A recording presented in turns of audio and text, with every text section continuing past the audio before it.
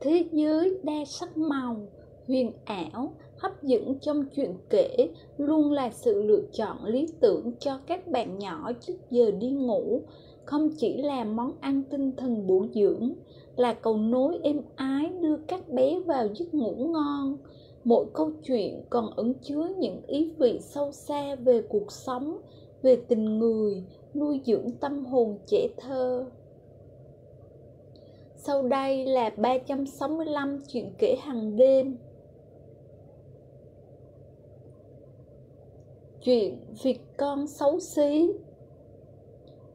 Trong một khu rừng nọ, có một cô vịt mẹ đang ấp trứng, hồi hộp mong chờ đến ngày được gặp mặt những đứa con yêu quý của mình. Cuối cùng ngày đó cũng đến từng quả trứng nở ra, những chú vịt con xinh xắn và đáng yêu lần lượt nhảy ra ngoài, kêu, cát cát. Vịt mẹ vui lắm. Nhưng vẫn còn một quả trứng lớn nhất ở trong ổ vẫn chưa nở. Thế là nó lại nằm xuống ấp tiếp. Bác vịt già đi ngang qua, hỏi vịt mẹ, này, cô đang làm gì đấy thế? Con của cô đã nở hết chưa? Vịt mẹ nói, vẫn còn một trứng chưa nở chị ạ à. bác vịt già bèn đi tới xem quả trứng và nói, quả trứng to thế này, chắc chắn không phải là trứng của cô đâu, không chừng là trứng của gà tây đấy vịt mẹ nghe lời bác vịt già nói thì đâm bán tiếng bán nghi bác vịt già lại nói tốt nhất là cô cứ mặc kệ nó, mau đi dạy lũ con của mình bơi lội đi. Không, tôi nhất định phải ở đây. Nói xong vịt mẹ lại nằm xuống cái ổ của mình. Vài ngày trôi qua, quả trứng cuối cùng cũng nở. Con vịt này vừa to vừa xấu quá đi mất. Vịt mẹ nhìn đứa con của mình rồi thúc lên, chẳng lẽ nó đúng là con của chị ghe tay? Vịt mẹ bắt đầu nghi ngờ. Ngày hôm sau vịt mẹ dẫn các con của mình đến bờ ao. Vịt mẹ nhảy xuống ao trước, rồi các chú vịt con lần lượt theo sau. Chú vịt con xấu xí cũng theo các anh chị nhảy xuống ao và bơi lộ vịt mẹ nhìn thấy thế, nghĩ bụng, tốt quá rồi, nó biết bơi kìa, vậy là không phải con của chị ghè tay tuy nhiên, một việc không mong muốn lại xảy ra, đó là các anh chị thấy việc con xấu xí quá nên suốt ngày chế giễu nó, gọi nó là việc con xấu xí. Việc con luôn bị anh chị bắt nạt, cứ nhìn thấy nó ở đâu là chúng lại đuổi đánh, mổ nó tới tấp. Ngay cả cô bé chủ nhà thường cho vịt ăn, nhìn thấy vịt con xấu xí cũng đé nó sang một bên chỉ vì nó xấu xí quá. Chú vịt con tội nghiệp chỉ còn cách trốn vào trong góc tường, khóc tấm tức một mình. Một ngày nọ, nó quyết định bỏ nhà ra đi. Trời tối, nó đến một đầm lầy, dưới đầm có rất nhiều vịt trời đang bơi lội. Vịt con vừa đói vừa mệt, nằm xuống bãi cỏ ngủ thiếp đi sáng hôm sau, các chú vịt trời phát hiện ra vịt con. Chúng bay đến chào hỏi người bạn mới. Vịt con liền kể cho chúng nghe câu chuyện của mình. Chú vịt đầu đàn tỏ vẻ thông cảm, nói, bạn rất xấu xí, nhưng chúng tôi không quan tâm đến chuyện đó đâu. Bạn có thể ở cùng với chúng tôi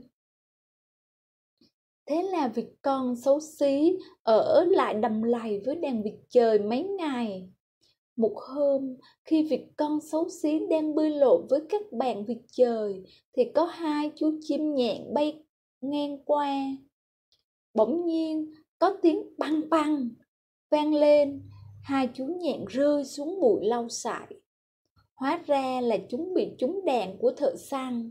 Vịt con xấu xí sợ quá khóc oe lên nó không dám ở lại đây nữa thế là nó chào các bạn vịt trời và lại bắt đầu quãng đường lưu lạc của mình chập tối nó nhìn thấy một ngôi nhà nhỏ trong nhà chỉ có một bà lão sống cùng với một chú mèo con và một chị gà mái Bà ơi, cháu có thể ở lại nhà bà không ạ? À? Việc con xấu xí mạnh dạn hỏi. Mắt bà lão rất kém, nên bà cứ tưởng đó là một con gà mái béo. Bà nghĩ bụng, trời ạ, à, cuối cùng mình cũng có trứng để ăn rồi. Vì vậy bà lão vui mừng nói, tất nhiên là được. Thế nhưng ba tuần đã trôi qua mà nó vẫn chưa đẻ được quả trứng nào, việc con xấu xí đành phải rời khỏi nhà bà lão. Lần này nó đi đến một bờ hồ. Khi mặt trời vừa mới ló dạng, có một bầy thiên nga xinh đẹp từ khu rừng nhỏ gần đó bay đến. Việc con thúc lên. Trời, đây là chim gì thế nhỉ? Đẹp quá! Mình chưa bao giờ được nhìn thấy loài chim nào đẹp đến thế.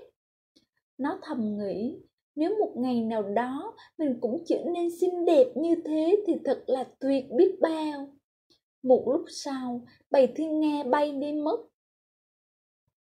Không bao lâu sau, mùa đông đã tới, nước trong hồ lạnh cắt da cắt thịt. Việc con chỉ còn cách bơi qua bơi lại liên tục để không bị lạnh cống.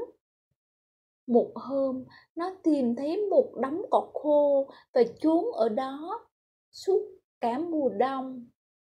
Cuối cùng, mùa xuân cũng tới, những tia nắng ấm áp chiếu rọi xuống mặt đất. Những chú chim sơn ca bắt đầu cất tiếng, hót líu lo chào mùa xuân.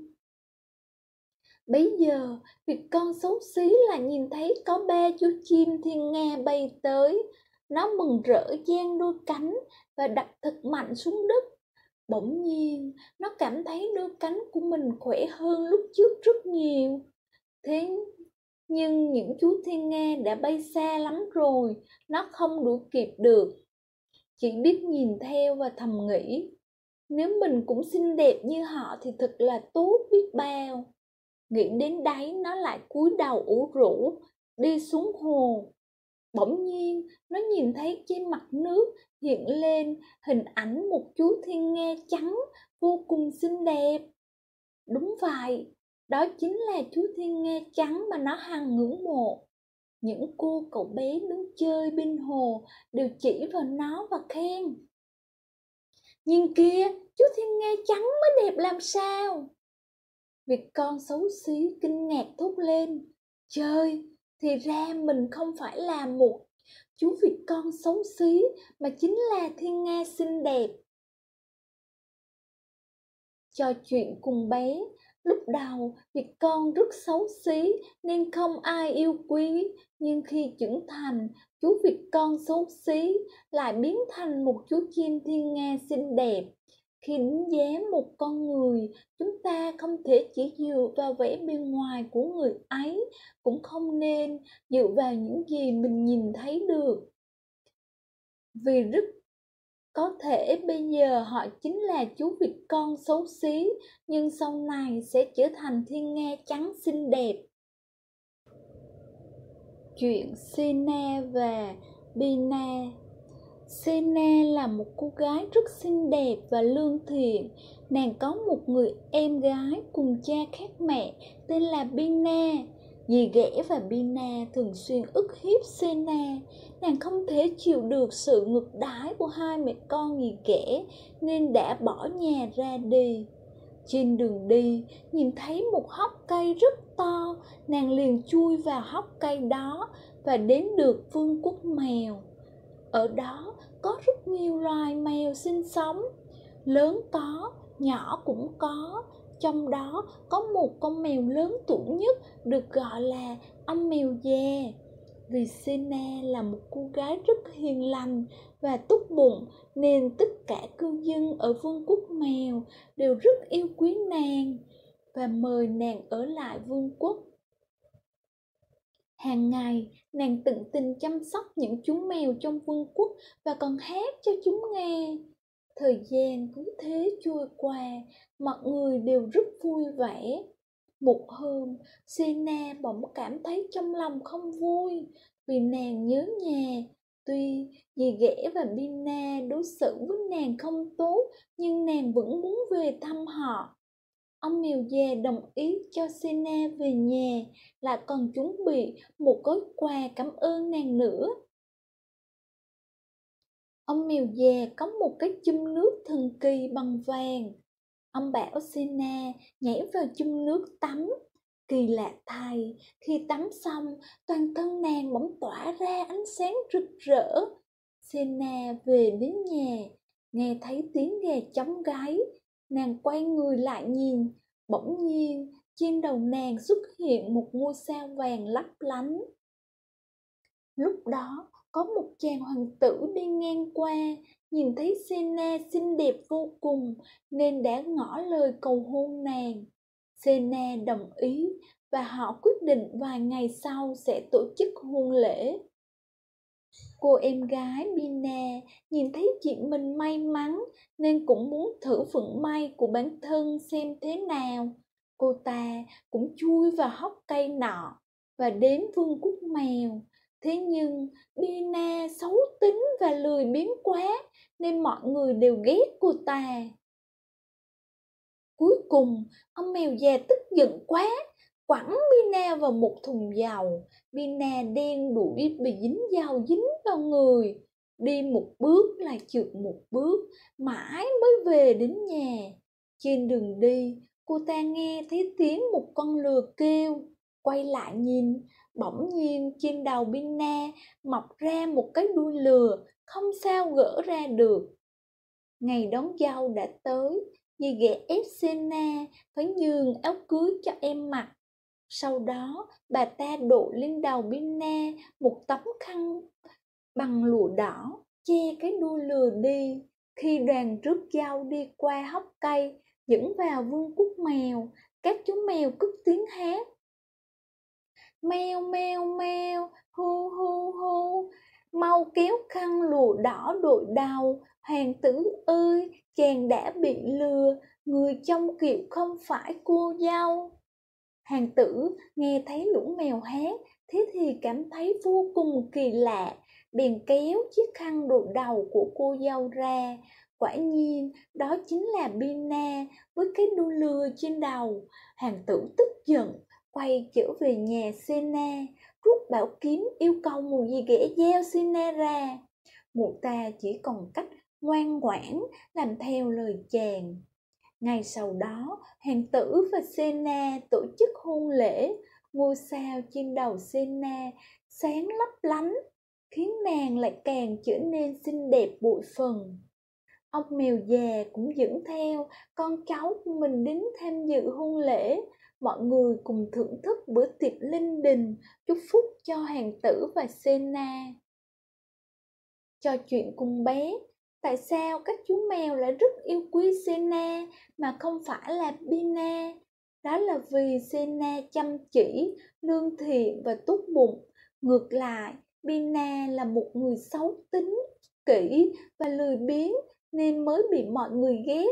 Chính vì thế, chúng ta cũng phải rèn thói quen yêu lao động và lễ phép. Chân thành với người khác, có như vậy thì mới được mọi người yêu quý.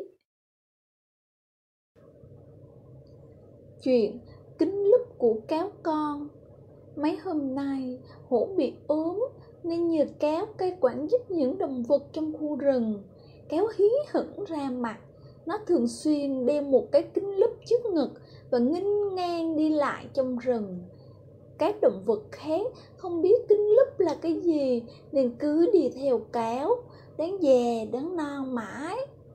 Nghe chấm nói, Tôi nghĩ đó chính là một sợi dây chuyền Kéo đeo nó để chứng tỏ sự giàu có của mình ấy mà.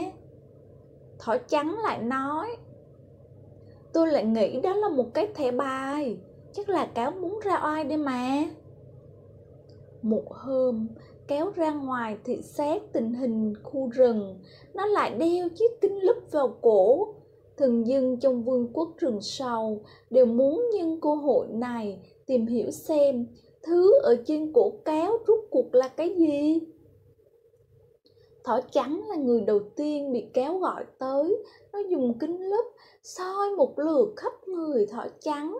Cuối cùng, kéo nói với thỏ trắng cứ tưởng cậu sạch sẽ lắm. Ai ngờ trên người lại có mấy cọng lông rối đây này. Thật đáng xấu hổ. Sao cậu không nhổ mấy sợi lông rối đi cho rồi? Mau về nhà nhổ đi. Sau đó viết báo cáo mang tới đây cho tôi xem. Sau khi bị mắng một trận nên thần, thỏ trắng mới biết vật ở trên cổ cáo là một cái kính phóng đại chuyên dùng để soi mói khuyết điểm của mọi người các loài vật khác biết chuyện xảy ra với thỏ trắng đều cung kính chính xe cáo, không dám gây sự với nó. Một hôm vịt con nhìn thấy cáo đang đi về phía mình, liền quay người chạy trốn. Không may, cáo đã nhìn thấy nó và quát lên, đứng lại, mau qua đây. Vịt con ngại ngùng bước đến gần cáo Kéo lại, lấy kính lúp ra soi một lượt từ đầu đến chân vịt con. Bỗng nhiên nói, chẳng trách vì sao anh cứ đi đường cứ lạch ba lạch bạch. Nguyên nhân là do anh quá béo. Từ nay về sau đừng có tham ăn nữa nhé. Vịt con bị cáo mắng cho một trận, tức giận ôm bụng bỏ đi. Khi con đứng trên cây, nhìn thấy cá mắng các bạn thì vô cùng tức giận nó chạy là chỗ cáo nói, thưa người, thay thế để vương tôn kính. Tại sao ngài cứ dùng cái kính đó để soi mọi người mà không soi lại chính mình vậy? Chẳng lẽ ngài không có một khuyết điểm gì hay sao? Mời ngài hãy dùng cái kính này để soi lại chính mình đi. Cáo nghe thấy khỉ nói thế, liền tức giận nói, cậu dám hỗn láo với người thêm mặt cho đại vương sao? Ta sẽ dùng cái kính này soi cậu mỗi ngày một trăm lần. Khỉ con vốn chỉ chẳng sợ cáo, nó liền cướp lấy cái kính trên cổ cáo và ném mạnh xuống đất. Cái kính vỡ tan. Sau đó, khỉ con nhún người, leo tót lên cành cây cào. Cáo tức giận chạy quanh gốc cây mấy vòng liền, nhưng không tài nào leo lên được nó chỉ còn cách nhặt lại mấy mảnh kính vỡ và lủi thủi về. Thỏ trắng, vịt con và gà trống đứng từ xa nhìn thấy kéo đã bị chừng trị thích đáng thì vui mừng vỗ tay hoàng hồ trò chuyện cùng bé, kéo dùng kính lúp để làm gì? Con đã làm gì cáo, câu chuyện này muốn nhắc nhở chúng ta một điều không nên chỉ nhìn vào những khuyết điểm của người khác, mà cũng nên nhận ra khuyết điểm của chính mình nữa. Các bé phải dũng cảm thừa nhận, nếu mình có khuyết điểm và có ý thức sửa chữa, như vậy thì mới được người khác tôn trọng bé nhé. Chuyện gà chấm choai thông minh. Một hôm, gà chấm choai và chó mực cùng nhau đi chơi ở ngoài ô cả hai vừa đi vừa chơi đùa thật là vui vẻ. Không biết trời đã tối từ lúc nào rồi. Chấm choai nói với chó mực. Anh chó này, chúng ta mau tìm chỗ nào đó để ngủ qua đêm đi. Nếu gặp phải thú dữ ngoài này thì phiền phức lắm. Chó mực nói, yên tâm đi chấm choai tôi sẽ tìm được một nơi an toàn cho chúng ta. Hai người đi đến một góc cây to, chó mực bảo chấm choai nhảy lên cành cây ngủ, còn mình thì nằm dưới hốc cây. Đêm hôm đó, không có chuyện gì xảy ra. Trời sáng, chấm choai thức dậy sớm hơn gáy lên một chàng ruộng rã. Tiếng gáy của nó vang vọng trong khu rừng yên tĩnh. Một con cáo nghe thấy tiếng gáy của gà trống thì vô cùng hí hửng, nghĩ bụng bữa trưa đưa đến tận miệng rồi, nhất định mình phải bắt được con gà này. Cáo chạy đến chỗ gốc cây và ngọt ngào nói với chấm choai, để có thể thưởng thức tiếng hát của bạn, tôi đã phải chạy từ một nơi rất xa tới đây. Bạn có thể xuống đây hát thêm một bài cho tôi nghe không? Chấm choai thấy cáo không có ý tốt bèn nói, tất nhiên là có thể rồi nhưng mà tôi phải gọi bạn đồng hành của mình dậy đã. Chúng tôi cùng hát cho anh nghe nhé. Gà chấm liền hướng xuống cốc cây hét toán lên. Này mau dậy đi mau hát đi. Lúc đó cháu mực đang ngủ, đột ngột bị đánh thức dậy, nhảy ra sủa in ỏi. Cáo thấy tình hình có vẻ bất lợi liền quay người bỏ chạy, không thấy tâm hơi đâu nữa. Trò chuyện cùng bé, gà chấm choai biết cáo vô cùng sợ chó mực nên rất bình tĩnh, vì thế đã đưa ra cách xử lý tình huống rất thông minh để thoát khỏi nguy hiểm. Chuyện cô bé Lisa dũng cảm Lisa là một cô bé rất thông minh, khéo tay và xinh xắn như một búp bê nhỏ. Cô bé sống cùng với bố mẹ và bà nội trong một ngôi làng nhỏ dưới chân núi. Cuộc sống rất vui vẻ và êm ấm. Một hôm, bố của Lisa bị quốc vương bắt đi đánh trận, không may bị hy sinh ở chiến trường. Tất cả mọi người đều rất đau lòng vì sự ra đi của ông. Từ đó, cô bé Lisa không muốn trưởng thành. Quả nhiên, kể từ ngày bố mất, cô bé Lisa không hề lớn thêm một chút nào. Sau đó, vì quá nhớ chồng và làm việc nặng nhọc mà mẹ của Lisa cũng lâm bệnh nặng, mọi gánh nặng cuộc sống đổ lên một mình bà nội. Lisa, cháu hãy lớn nhanh lên để giúp bà làm việc nhà, thế thì tốt biết bao. Bà nội thường thở dài và nói. Nghe thấy bà nội nói vậy, Lisa vội vàng xách một xô nước định tưới cây giúp bà, nhưng cô bé không sao nhấc xô nước lên được. Lúc đó Lisa bắt đầu ao ước mình cao lớn hơn để có thể giúp bà nội làm việc. Thật kỳ lạ, cô bé vừa nghĩ như vậy thì bỗng nhiên thấy mình cao lớn hơn một chút. Bây giờ Lisa có thể xách xô nước một cách dễ dàng rồi. Không lâu sau, bà nội qua đời, tất cả công việc ở nhà đều do Lisa làm hết. Ngày nào cô bé cũng bận rộn vô cùng. Cô bé lại mong mình cao lớn hơn một chút nữa. Khi từ bệnh viện trở về nhà, nhìn thấy con gái đã trở thành một thiếu nữ khỏe mạnh và xinh đẹp, mẹ của Lisa vô cùng phấn khởi. Một hôm, có một tên cướp tàn bạo tìm đến ngôi làng của Lisa. Không ai dám chống lại hắn. Nhưng làng chỉ còn cách nộp tiền vàng và đồ đạc cho tên cướp. Nhưng chỉ riêng Lisa không làm như thế. Cô bé đứng trước gương và nói, tôi muốn mình cao lớn hơn nữa, tôi muốn trở thành một người khổng lồ. Dứt lời, quả nhiên cô bé đã trở nên cao lớn vô cùng. Đầu của cô đã chạm đến chừng nhà. Thế nhưng Lisa vẫn chưa chịu khựng lại. Cô bé bước ra sân và nói tiếp. Tôi muốn cao bằng cái ống khói kia. Lạ kỳ làm sao, cô bé đã lớn lên và cao bằng cái ống khói trên nóc nhà. Lisa nói với mẹ, mẹ ơi, con phải đi chừng trị tên cướp đây. Tên cướp vừa nhìn thấy người khổng lồ đã vội vàng bỏ chạy. Nhưng Lisa chỉ cần bước hai bước là đã có thể đuổi kịp và bắt lấy hắn. Cô bé liền nhấc hắn lên và chói vào tháp chuông đồng hồ. Người dân trong làng đều vỗ tay khen ngợi Lisa dũng cảm, khiến cô bé cảm thấy rất vui. Nhưng một lúc sau, cô bé lại buồn bã nói, cháu trở nên cao lớn thế này rồi, biết làm thế nào để trở lại bình thường bây giờ? Đúng lúc đó, một điều kỳ diệu đã xảy ra. Mỗi khi Lisa bước thêm một bước, cơ thể của cô bé lại nhỏ đi một chút. Cứ thế, chẳng mấy chốc, cô bé đã trở lại hình dáng trước đây. Lisa vui mừng lắm. Từ đó về sau, cô bé luôn là người giữ gìn sự bình yên cho ngôi làng. Mọi người đều gọi cô bé là Lisa dũng cảm. Trò chuyện cùng bé, Lisa đã dùng cách nào để trừng trị tên cướp? Lisa đúng là một cô bé anh hùng, đúng không nào? Cô bé đã giúp bà nội làm việc nhà, giúp dân làng đuổi tên cướp. Và vì thế mà được mọi người quý mến.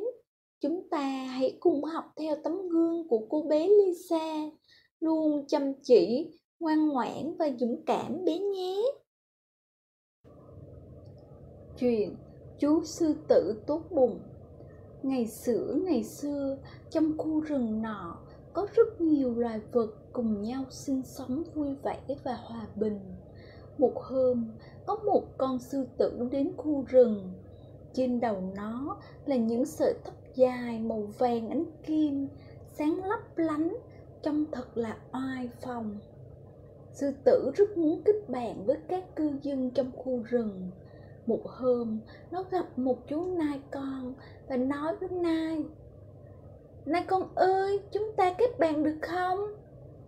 Nai con sợ quá, toàn thân run như cầy sấy. Nói, tôi tôi không dám. Rồi co cẳng chạy biến sư tử rất thất vọng. Nó nhìn thấy một chú khỉ con đang đu cây liền hỏi, khỉ con ơi, bạn có thể làm bạn với tôi không? Khỉ con gãi đầu nói, làm bạn với sư tử thì khác nào? Tự tìm đến chỗ chết chứ. Sư tử vội vàng nói, tôi là một chú sư tử tốt bụng.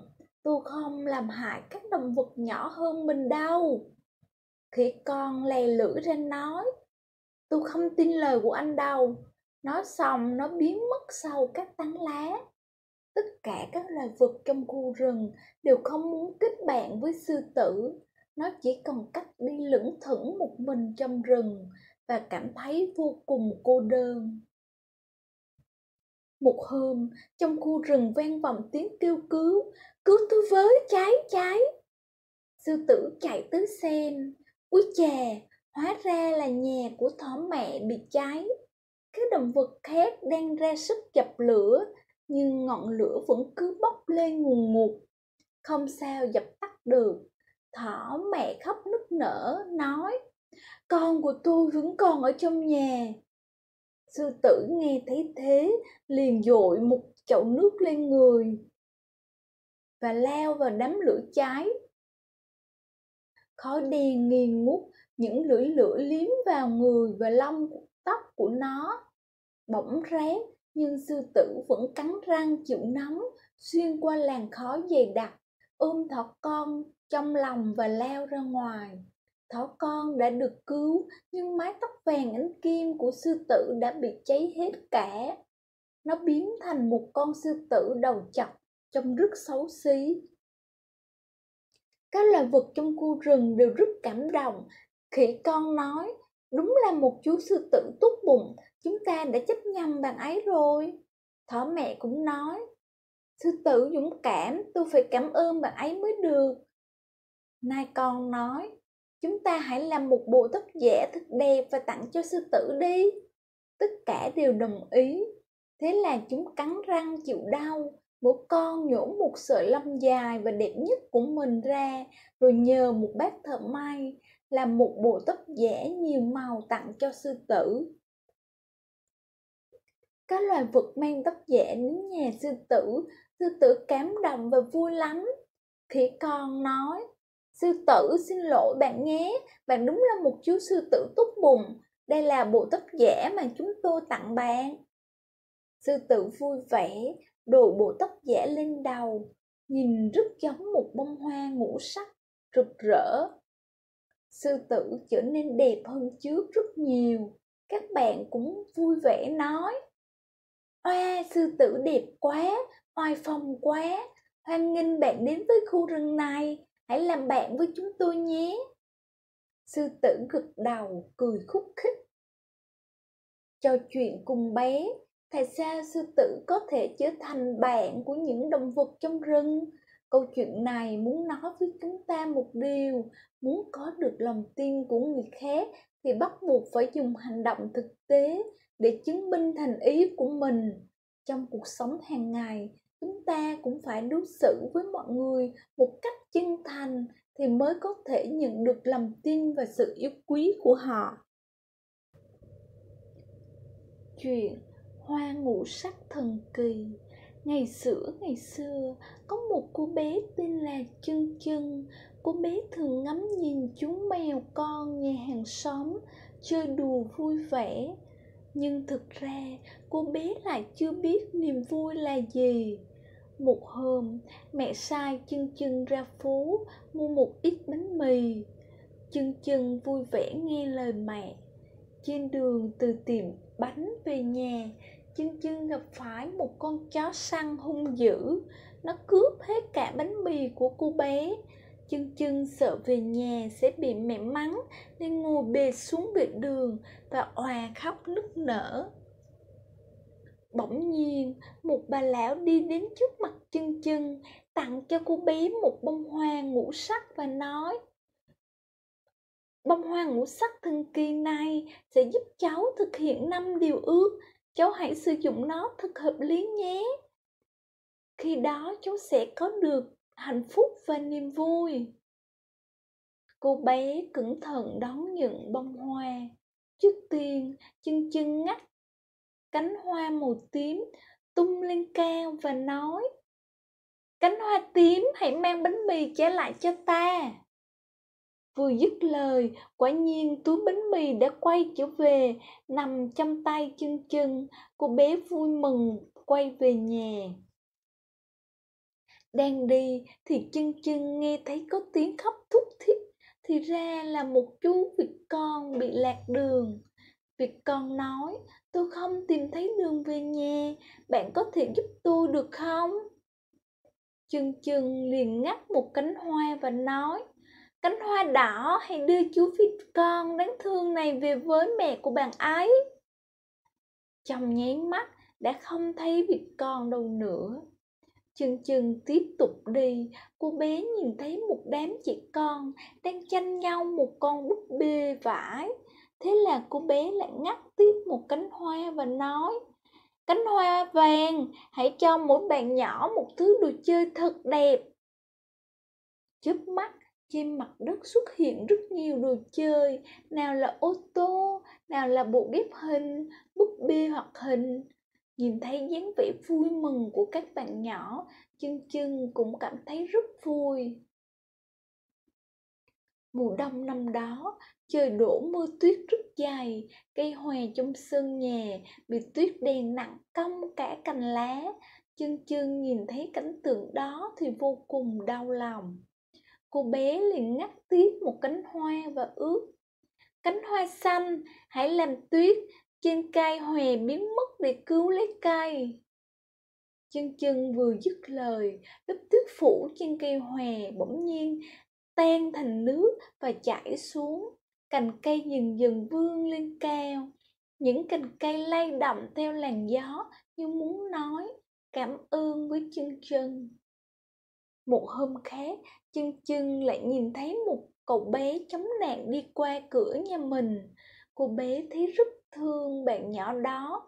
Cô bé ngắt nốt cánh hoa cuối cùng và nói, cánh hoa hồng, xin hãy chữa khỏi đôi chân cho cậu bé kia. Khác với những lần trước, cánh hoa tỏa sáng lấp lánh trong tay chân chân, phát ra năm màu khác nhau thật là đẹp chân chân và cậu bé kia cùng reo lên thích thú. Chân chân phát hiện chân của cậu bé đã hoàn toàn bình phục. Cậu bé có thể nhảy cao hơn cả chân chân nữa. Chân chân mừng rỡ, chạy đến ôm lấy cậu bé và nói, thì ra giúp đỡ người khác chính là niềm vui.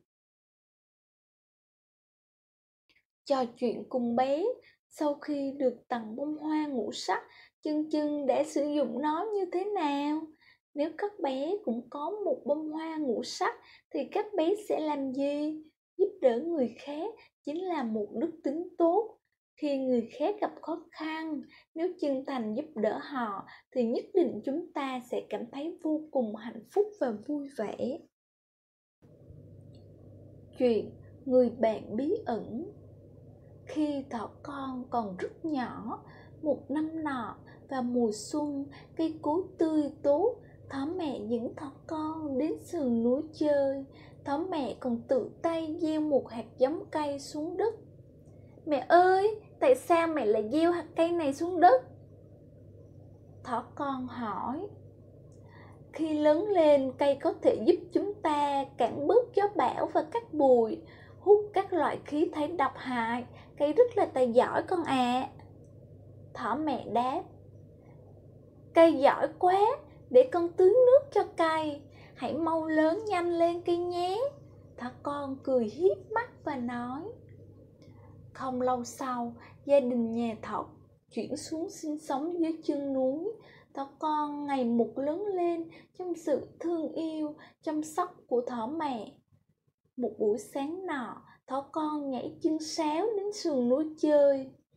Trời nắng như thiêu như đuốc, thỏ con mệt quá, bèn ngồi xuống một tảng đá để nghỉ. Đúng lúc đó, một cây to bên đường cất tiếng nói. Thỏ con, mau đến đây ngồi đi, tôi sẽ che nắng cho bạn. Thế rồi, cây vương tán lá ra, giống như một cái u màu xanh lục, che ánh mặt trời chói chang. Thỏ con chạy tới, vui vẻ nói, cảm ơn bạn. Thực ra, chính tôi phải cảm ơn anh bạn mới đúng đấy. Cây vẫy những cành lá nhỏ, thì thầm vẽ bí mật. Bạn thử đến xem tôi là ai? Thỏ con nhảy quanh gốc cây, nhưng nó không sao biết được đó là ai. Chúng ta đã gặp nhau chưa nhỉ? Thỏ con hỏi. Tất nhiên là gặp rồi, khi bạn còn rất nhỏ ấy. Cây cười khúc khích. Tôi chính là hạt giống mà mẹ của bạn đã gieo xuống đất đấy. Cuối cùng cây cũng chịu nói ra đáp án. Tôi luôn muốn nói lời cảm ơn hai mẹ con bạn. Ái cha, bạn lớn nhanh thật đấy. Thỏ con mừng rỡ, vòng hai tay ôm lấy thân cây. Buồn quá, buồn quá. Cây vương những cành lá nhỏ ra, bù vào người thỏ con, thỏ con cười ngặt nghẽo. Tiếng cười của nó vang vọng cả khu rừng. Chưa bao giờ nó cười thoải mái như thế. Cây nói với thỏ con, bây giờ tôi đã lớn rồi, các bạn của tôi cũng đã lớn. Chúng tôi không chỉ có thể che nắng che mưa cho mọi người, mà còn có thể chắn được bão cát nữa đấy. Chẳng cách nào, dạo này không khí trong khu rừng ngày càng trong lành và dễ chịu, thì ra đó chính là công lao của các bạn. Thỏ con vui vẻ nói. Nó vỗ tay hoan hô và khen cây. Các bạn giỏi quá!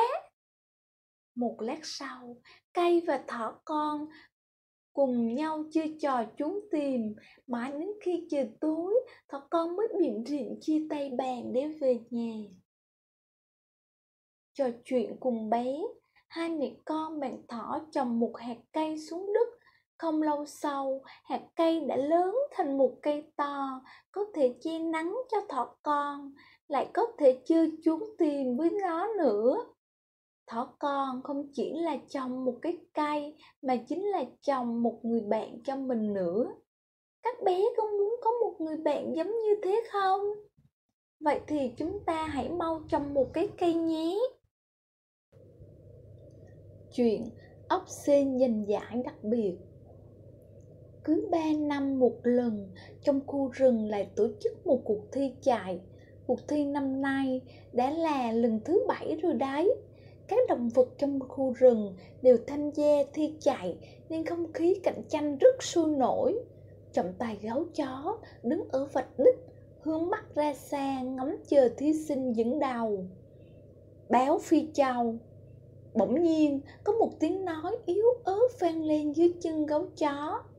Ngài chậm tay, ngài chậm tay, tôi về rồi, tôi về đến đích rồi. Gấu chó nhìn xuống, hóa ra là một chú ốc sên. Gấu chó ngạc nhiên nói, Ồ, sao lại có thể như vậy nhỉ? Ốc sên mà lại về đích trước béo hay sao? Anh, anh không gian lận đấy chứ? Tôi không gian lận. Ốc sên ấm ức nói, tôi luôn ở trên đường đua mà chồng tài chính đà điểu nghe thấy tiếng ồn ào liền chạy lên xem xét tình hình nó nhìn ốc sên và nói anh là một chú ốc sên đã có tuổi chắc sẽ không nói dối tôi hỏi anh có đúng là anh đã chạy từ vạch xuất phát đến đích không Đúng như vậy. Ốc sên trả lời. Lúc bắt đầu chạy, tôi và rùa bị tụt lại phía sau, rùa tức giận rủ tôi đi về nhà cho xong. Nhưng tôi nghĩ dù thế nào cũng phải chạy tới đích mới được. Thế là không quản ngại. Nắng mưa bão tố bao nhiêu gian khổ. Đời đã, đời đã. Đàn điểu càng nghe lại càng thấy khó hiểu. Anh đã chạy bao nhiêu lâu rồi? Tính thời gian là việc của trọng tài chứ. Tôi chỉ nhớ khi bắt đầu chạy, tôi vẫn còn trẻ lắm. Tôi đã chạy qua ba mùa hè và ba mùa đông trên đường đua rồi. chơi ạ! À, trọng tài đà điểu thốt lên kinh ngạc. Nói như vậy nghĩa là anh đã chạy suốt ba năm rồi cơ à. Lần anh tham gia là cuộc thi chạy lần thứ sáu đúng không? Chẳng lẽ đây không phải là cuộc thi chạy marathon lần thứ sáu hay sao? Không, đây là lần thứ bảy rồi. Gấu chó nói. Cuộc thi lần thứ sáu đã kết thúc từ 3 năm trước rồi. Rất tiếc chúng tôi không thể tính thành tích cho anh được. Không, đây là một trường hợp rất đặc biệt. Trọng tài chính đà điểu nói. Theo tôi, anh chàng ốc xin này chính là thí sinh xuất sắc nhất trong lịch sử của các cuộc thi của chúng ta từ trước tới nay. Có ai có thể kiên trì chạy tới đích như anh ta hay không? Huống hồ, bản thân việc ốc sên có thể chạy đến cuối đường đua cũng là một kỳ tích rồi. Tôi đề nghị treo cho ốc sên giải đặc biệt. Khi ốc sên nhận giải thưởng, gấu chó thì thầm nói với nó. Anh phải chịu thiệt thòi rồi. Để giành được giải thưởng lần này, anh đã phải tiêu tốn gần hết thời gian của cả đời mình.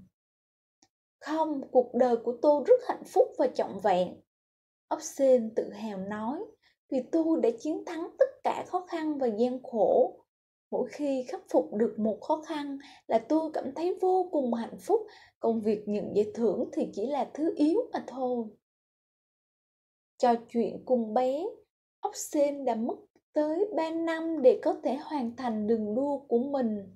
Tinh thần kiên trì bền bỉ của ốc sen rất đáng để chúng ta học tập. Các bé, hãy học tập ốc sen nhé. Luôn kiên trì làm việc, không bỏ dở giữa chừng chuyện chú ốc sên thích đi du lịch. Dưới gốc cây, ở một khu rừng nọ, có một chú ốc sên sinh sống. Từ trước tới nay, ốc sên chưa bao giờ đi xe cả, nên nó không hề biết thế giới bên ngoài rộng lớn tới mức nào. Một hôm chuột chuỗi đi ngang qua nhà ốc sên ốc sên liền hỏi này anh bạn chuột chuỗi, anh chạy nhanh thế thì nhất định phải biết rất nhiều chuyện xảy ra ngoài kia nhỉ? Chuột chuỗi kêu, chít chít. Nói, thế giới bên ngoài rộng lớn lắm, bạn đã bao giờ nghe nói đến núi Thế Sơn chưa? Núi Thế Sơn cao hơn 5.000 thước, cây cối um tùm, khí hậu mát mẻ, có rất nhiều điều thú vị. Còn có chuột chuỗi theo theo bút tuyệt kể chóc xên nghe về núi Thế Sơn. Thực ra nó cũng chưa hề đến đó bao giờ, chỉ nghe người khác kể lại thế thôi. Ốc sên thấy chuột chuỗi kể thế thì trong lòng rất héo hức. Nó không biết nên đi nơi nào trước, liền đến hỏi rùi, vốn là người đi nhiều hiểu rộng. Nghe nói ở phía đông có núi Thế Sơn, phong cảnh hữu tình, lại còn có thể ngắm cảnh mặt trời mọc nữa. Ốc sên nói. Anh rùi này, tôi định thực hiện một chuyến du lịch dài ngày, anh thấy có được không? Được, rất tốt. Rùi trả lời. Tuy nhiên, từ đây tới chân núi Thái Sơn, dựa vào tốc độ bò của anh bây giờ thì cũng phải mất nhất là hơn 2.000 năm, không biết anh có quyết tâm đến đó không? Hả? Ốc sen kinh ngạc thốt lên, nó không ngờ núi Thế Sơn lại xa thế. Cứ tưởng đi đến đó nhiều nhất cũng chỉ mất hai ba ngày thôi. Vậy tôi không muốn đi nữa đâu, tôi muốn đến cao nguyên một chuyến. Ở đó đất đai màu mỡ, động thực vật phong phú, nhất định là rất đẹp. Thế cũng tốt. Rồi lại nói, Tuy nhiên, đường từ đây đến cao nguyên không dễ đi đâu. Anh phải lội qua mấy con sông lớn. Với tốc độ di chuyển của anh bây giờ thì ít nhất cũng phải mất ba nghìn năm. Ốc xê nghe nói thế, ruột cả cổ vào, nó nghĩ bụng. Từ thời tổ tiên đến bố mình, làm gì có ai sống được lâu như thế cơ. Anh bạn, anh còn muốn đi nữa hay không? Rồi nhiệt tình hỏi. Không đi nữa, không đi nữa. Ốc sen buồn bã nói. Nếu phải mất nhiều thời gian như thế thì tôi không thèm đi đâu cả. Hay... À. Sau khi rùi bay đi, ốc sen lười biếng nằm lăn ra bãi cỏ. Mấy chú kiến đi ngang qua, cười khúc khích, chế nhạo ốc sen là cá thèm chấm chán. Trò chuyện cùng bé, nếu các bé là ốc sên thì có cả thèm chấm chén giống nó không? Trước khi làm bất kỳ việc gì, chúng ta đều phải tự tin vào bản thân. Huống hồ, những chuyện chưa thử làm thì sao biết được là có thành công hay không? Chỉ cần cố gắng làm thì nhất định sẽ có được thành quả các bé nhé. Câu chuyện Cái mũ Khu rừng nọ bị cháy, lại đang lúc gió to nên ngọn lửa bùng lên rất lớn, nhưng đó rực cả một góc trời. Các loài động vật trong khu rừng hốt hoảng, lập tức chạy đi dập lửa. Người thì xách xô, người thì xách chậu, người múc nước, người tạt lửa. Cuối cùng đám cháy cũng được dập tắt. Thế nhưng trong lúc dập lửa, đầu của gấu con bị bắt lửa, cháy mất mảng lông màu vàng nhạt trên đỉnh đầu, chỉ còn chưa lại những cọng lông ngắn ngủn và cứng ngắc. Làm sao bây giờ? Sao con dám đi gặp các thầy cô và bạn bè đây? Gấu con buồn bã, khóc thút thít. Gấu mẹ bèn làm cho nó một cái mũ rơm và an ủi. Con đừng buồn, đội cái mũ này lên sẽ không thấy xấu nữa. Vài ngày nữa lớp lông mới mọc lên sẽ lại đẹp ngay thôi. Vì đầu bị thương nên gấu con xin nghỉ học hai ngày. Trước khi nó đi học lại, thầy chủ nhiệm hưu câu cổ đứng trước lớp chỉnh chậm nói. Từ ngày hôm nay, các con có thể đội những chiếc mũ rơm mà mình yêu thích đi học, hình dáng càng độc đáo càng tốt. Ngày hôm sau, gấu con đội mũ rơm đến trường. Đến cổng trường, nó hơi do dự chừng chừ, không muốn vào lớp. Nhưng khi nhìn qua cửa sổ lớp học, thì gấu con thấy các bạn đều đội mũ rơm đến lớp. Đặc biệt nhất là khi con, bạn ấy đang đội một cái mũ nhọn chắc hẳn phải dài tới nửa mét. Buồn cười quá đi mất, gấu con không nhìn được phì cười. Thời gian trôi qua, trên đầu gấu con đã mọc ra một lớp lông mới nó không cần phải đội mũ rơm để che đi cái đầu chọc lóc của mình nữa. Kỳ lạ thay, ngày gấu con để mũ rơm ở nhà cũng chính là ngày các bạn thôi không đội mũ nữa. Trò chuyện cùng bé. Các bé có biết vì sao khi gấu con phải đội mũ rơm đi học thì các bạn ở lớp cũng đội mũ không. Đó chính là sự quan tâm của các bạn dành cho gấu con chúng ta phải học cách quan tâm tới người khác. Khi người khác nhận được sự quan tâm của chúng ta thì cũng sẽ cảm thấy hạnh phúc đấy. Chuyện tuyệt chiêu của chuột. Mèo hoa bắt chuột rất giỏi. Ngày nào nó cũng bắt được một vài con chuột. Nhìn thấy cư dân của mình sắp bị mèo bắt ăn thịt hết.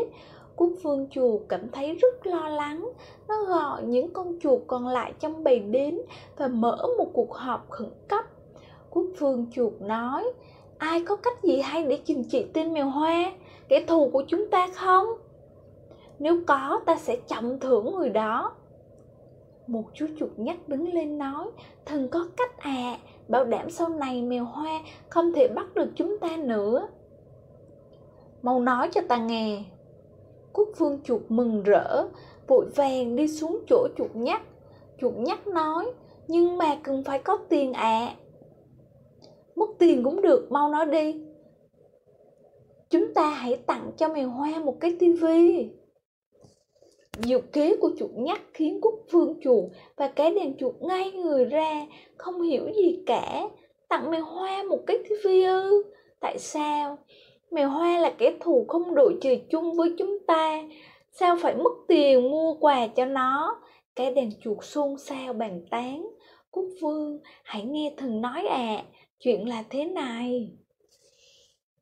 Chuột nhắt thầm thì điều gì đó vào tai Cúc Phương. Cúc Phương nghe xong liền gật đầu đồng ý.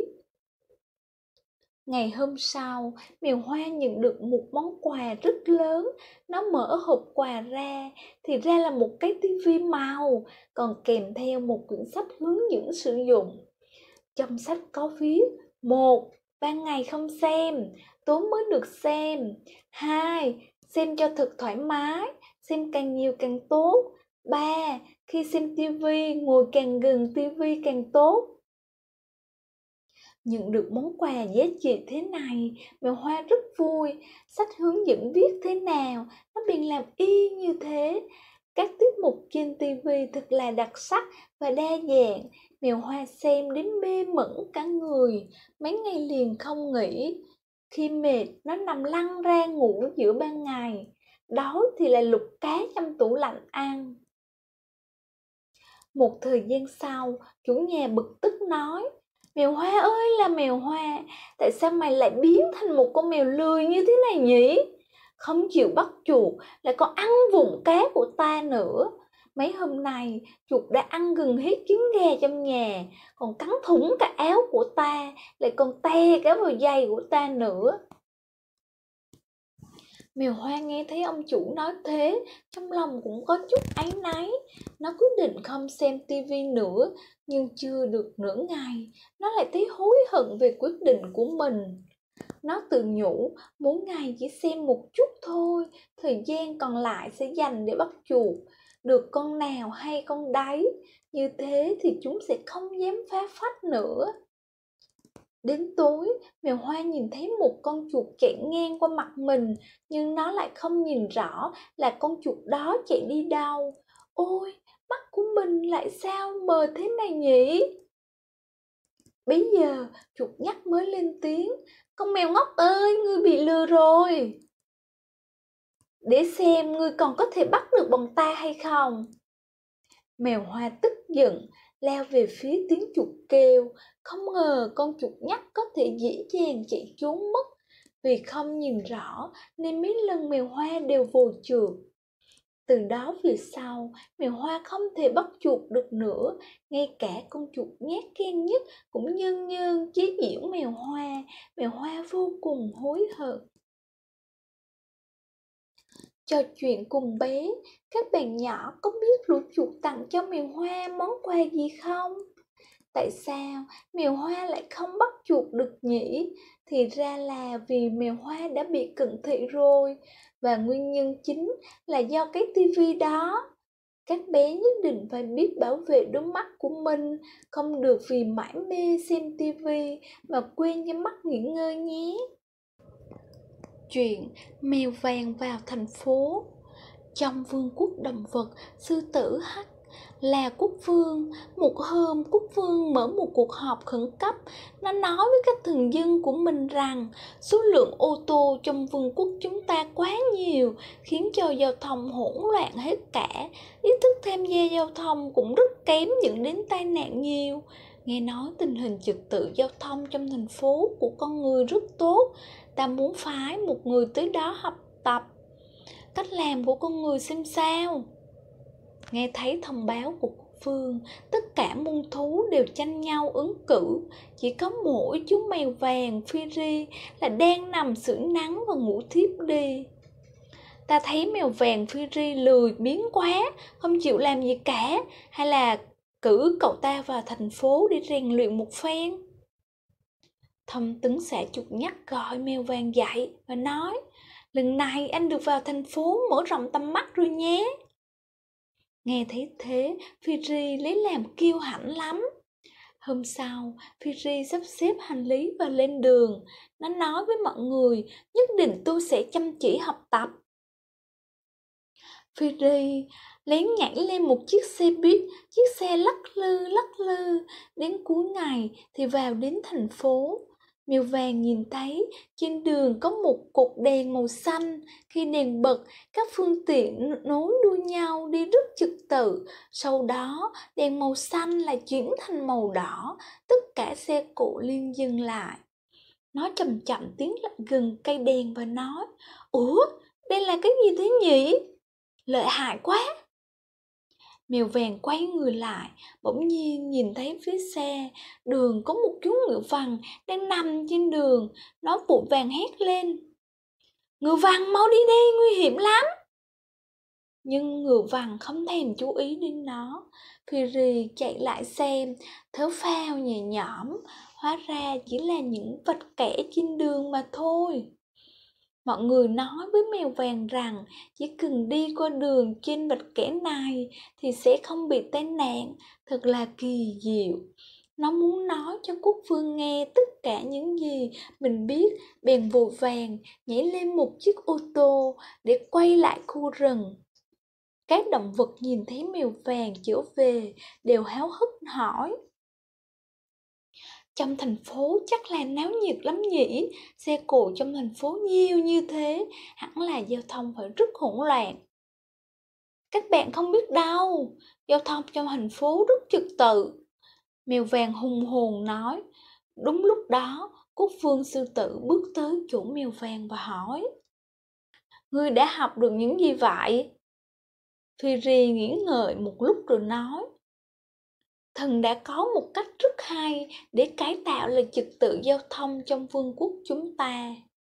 Quốc vương sư tử vút rau và nghiêm nghị nói, vậy ngươi hãy manh dạng làm đi. Hôm sau Phi đến chỗ có nhiều động vật và xe cộ qua lại nhất, bắt đầu điều khiển giao thông. Nó bảo hươu câu cổ, đứng bên vệ đường, bảo khỉ con treo lên đầu hươu câu cổ xếp chim vàng anh và vẹt xanh đứng dưới khỉ con. Mọi người lấy xe đi qua đây, nhìn thấy cái mông đỏ của khỉ con sẽ phải dừng lại, nhìn thấy bộ lông xanh của vẹt là sẽ được đi. Nếu nhìn thấy vàng anh thì phải đi chậm lại. Cách này quả nhiên là rất hiệu quả. Giao thông trong khu rừng không còn hỗn loạn như trước nữa, mà ai nấy đều tuân thủ quy tắc đi trên làn đường dành cho mình, không lấn sang làng khác. Mèo vàng đã giúp cả vương quốc giải quyết được một vấn đề khó nên mọi người rất yêu quý nó. Trò chuyện cùng bé, các bạn nhỏ có biết ba con mắt trên đường là gì không? Đó chính là đèn báo giao thông đấy. Khi đi trên đường, chúng ta phải tuân thủ luật giao thông nhé đèn đỏ phải dừng lại, đèn xanh được đi, người đi bộ phải đi qua đường trên mặt kẻ, các bé đã nhớ hết chưa nào? Chuyện lạ trong rừng Tối hôm qua, trong khu rừng bỗng nhiên xảy ra rất nhiều chuyện kỳ lạ. Cái đuôi sặc sỡ của chim công bỗng nhiên không còn, Cú mèo thì có một bộ mặt giống hệt như chuột đồng. Bộ lông mềm mượt của khỉ vàng bỗng nhiên trở nên đen đúa và cứng như lông nhím Khiến cho khỉ mẹ không nhận ra con mình. Khỉ con không có mẹ, không được bú sữa nên đói quá Khóc hu hu Tiếng khóc của nó thu hút tất cả các động vật trong khu rừng. Mọi người thấy chuyện kỳ lạ xảy ra liền túm năm tụm ba lại bàn tán con bị mất đuôi, đang ngồi khóc kia kìa. Nghe nói đêm qua cú mèo còn đi ăn trộm thóc đấy nhìn kia khỉ con khóc trong tụ nghiệp quá. Vậy rút cuộc cái đuôi của con ở đâu? Đầu của cú mèo và đuôi của khỉ con là do ai cháu đổi? Mọi người nhìn nhau, không ai biết câu trả lời là gì. Lúc đó, cấu trúc mẹ nói hay là đi hỏi bác voi đi, bác ấy vốn là người hiểu biết. Vậy là các loài vật bèn đi tìm bác voi nhưng tìm mãi không thấy đâu cả. Chim vàng anh bay tới nói, đừng tìm nữa, đừng tìm nữa. Cái vòi của bác voi cũng bị mất rồi, bác ấy đang bận đi tìm voi. Chuyện gì thế nhỉ? Các loài vật lại càng lo lắng hơn cáo nói hay là chúng ta đi nhờ chinh thám viên chó săn vậy chó săn đi tới, dùng cái mũi thính chạy đánh hơi, dùng cặp mắt tinh tường tìm kiếm khắp nơi. Cuối cùng nó nói tất cả những việc này là do một cậu bé làm. Chó săn đi xe máy, lần theo dấu vết, cuối cùng nó dừng lại trước một khu nhà nọ. Ngửi thấy một mùi gì đó rất quen thuộc nó nhìn qua cửa sổ của từng ngôi nhà. Bỗng nhiên, dừng lại trước cửa một ngôi nhà nọ. Nó nhìn thấy trong nhà có một cậu bé đang nằm trên sàn. Bên cạnh cậu bé có rất nhiều sách vở bị vứt lung tung, có quyển còn bị xé nhem nhở. Chó săn cảm thấy đau lòng thay cho những quyển sách đó. Cậu bé đó đang dán các chân sách lại với nhau một cách lộn xộn. Ô, đó chẳng phải là đuôi của con hay sao? Tại sao nó lại mọc trên người thỏ nhỉ? Không xong rồi, cậu ta định dán mũi của voi lên đầu khỉ con kìa. Không được dán lung tung, mau dừng tay. Chó săn hét lên, nhảy từ cửa sổ vào nhà cậu bé. Cậu bé sờ quá, giật nảy mình. Cậu dùng sách, thế này đi hả? Thì ra những chuyện kỳ quái xảy ra trong rừng đều là do cậu làm cả. Đi, vào rừng với tôi. Cậu bé khóc hoa lên và hứa là sẽ dán lại sách như cũ sau đó, cậu bé kia đã dán lại những quyển sách như cũ, các động vật trong khu rừng đã trở lại hình dáng ban đầu của mình.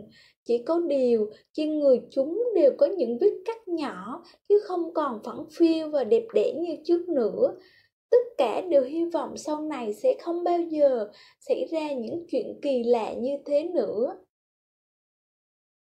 Trò chuyện cùng bé, trong rừng đã xảy ra những chuyện kỳ lạ nào nhỉ?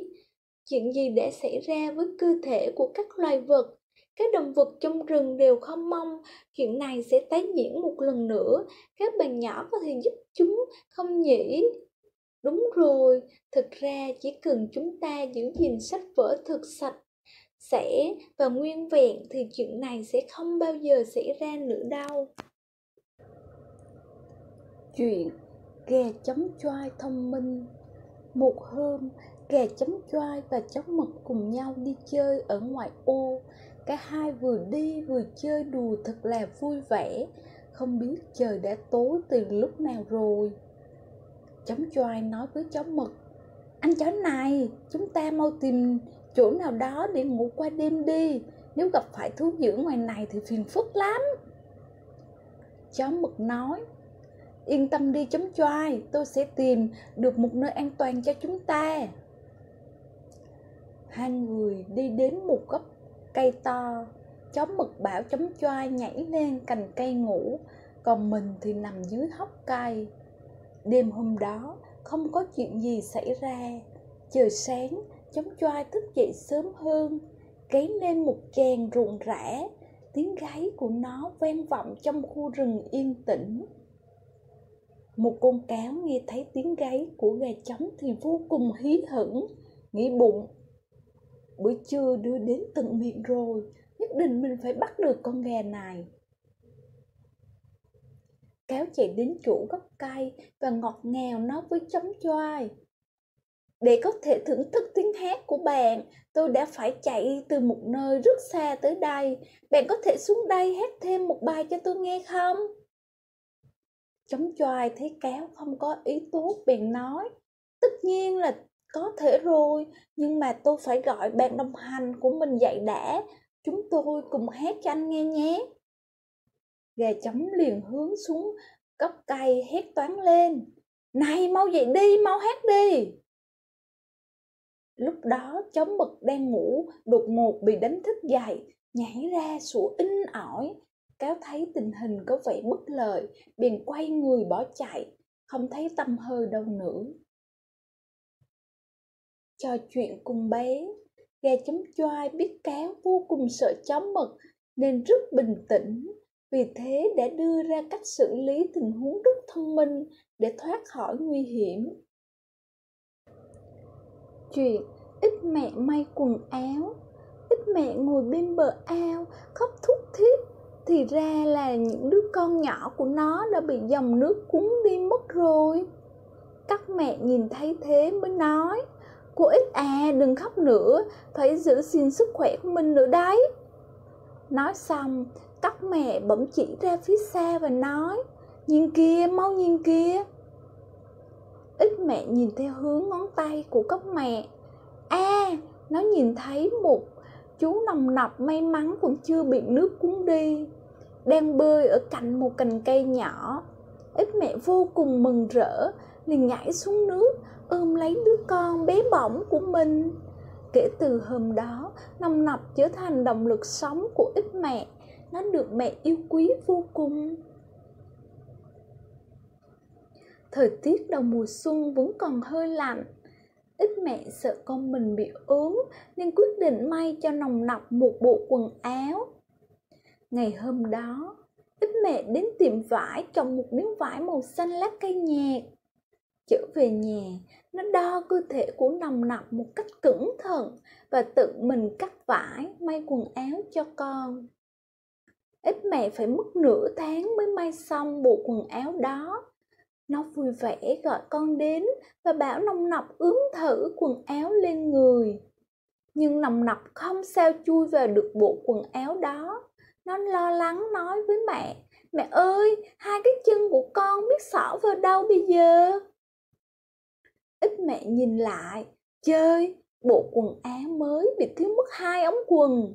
Thì ra nửa tháng trước khi ít mẹ đo quần áo cho con, nòng nọc mới chỉ có cái đầu tròn và cái đuôi dài. Còn bây giờ nó đã mọc thêm hai cái chân rồi. Ít mẹ an ủi con con à đừng sốt ruột, mẹ sẽ may cho con một cái quần thật vừa vặn thế rồi ít mẹ lại đến tiệm vải, mua thêm một miếng vải nữa. Đo lại người và đặc biệt chú ý đôi chân của nòng nọc sau đó, nó bắt đầu may quần cho con.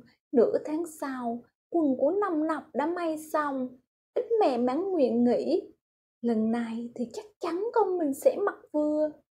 Thế nhưng nòng nọc lại không biết xỏ hai chân trước vào đâu cả thì ra, lần trước khi đo áo, hai chân trước của nòng nọc vẫn chưa mọc. ít mẹ cười nói, con à xem ra con cũng không cần đến quần áo mẹ may nữa rồi. Chẳng phải con đã có một bộ quần áo xanh rất đẹp rồi sao? Trò chuyện cùng bé, tại sao quần áo mà ít mẹ may cho nồng nọc lại không vừa? Đó là vì cứ khoảng hai tuần, cơ thể của nồng nọc lại có sự thay đổi.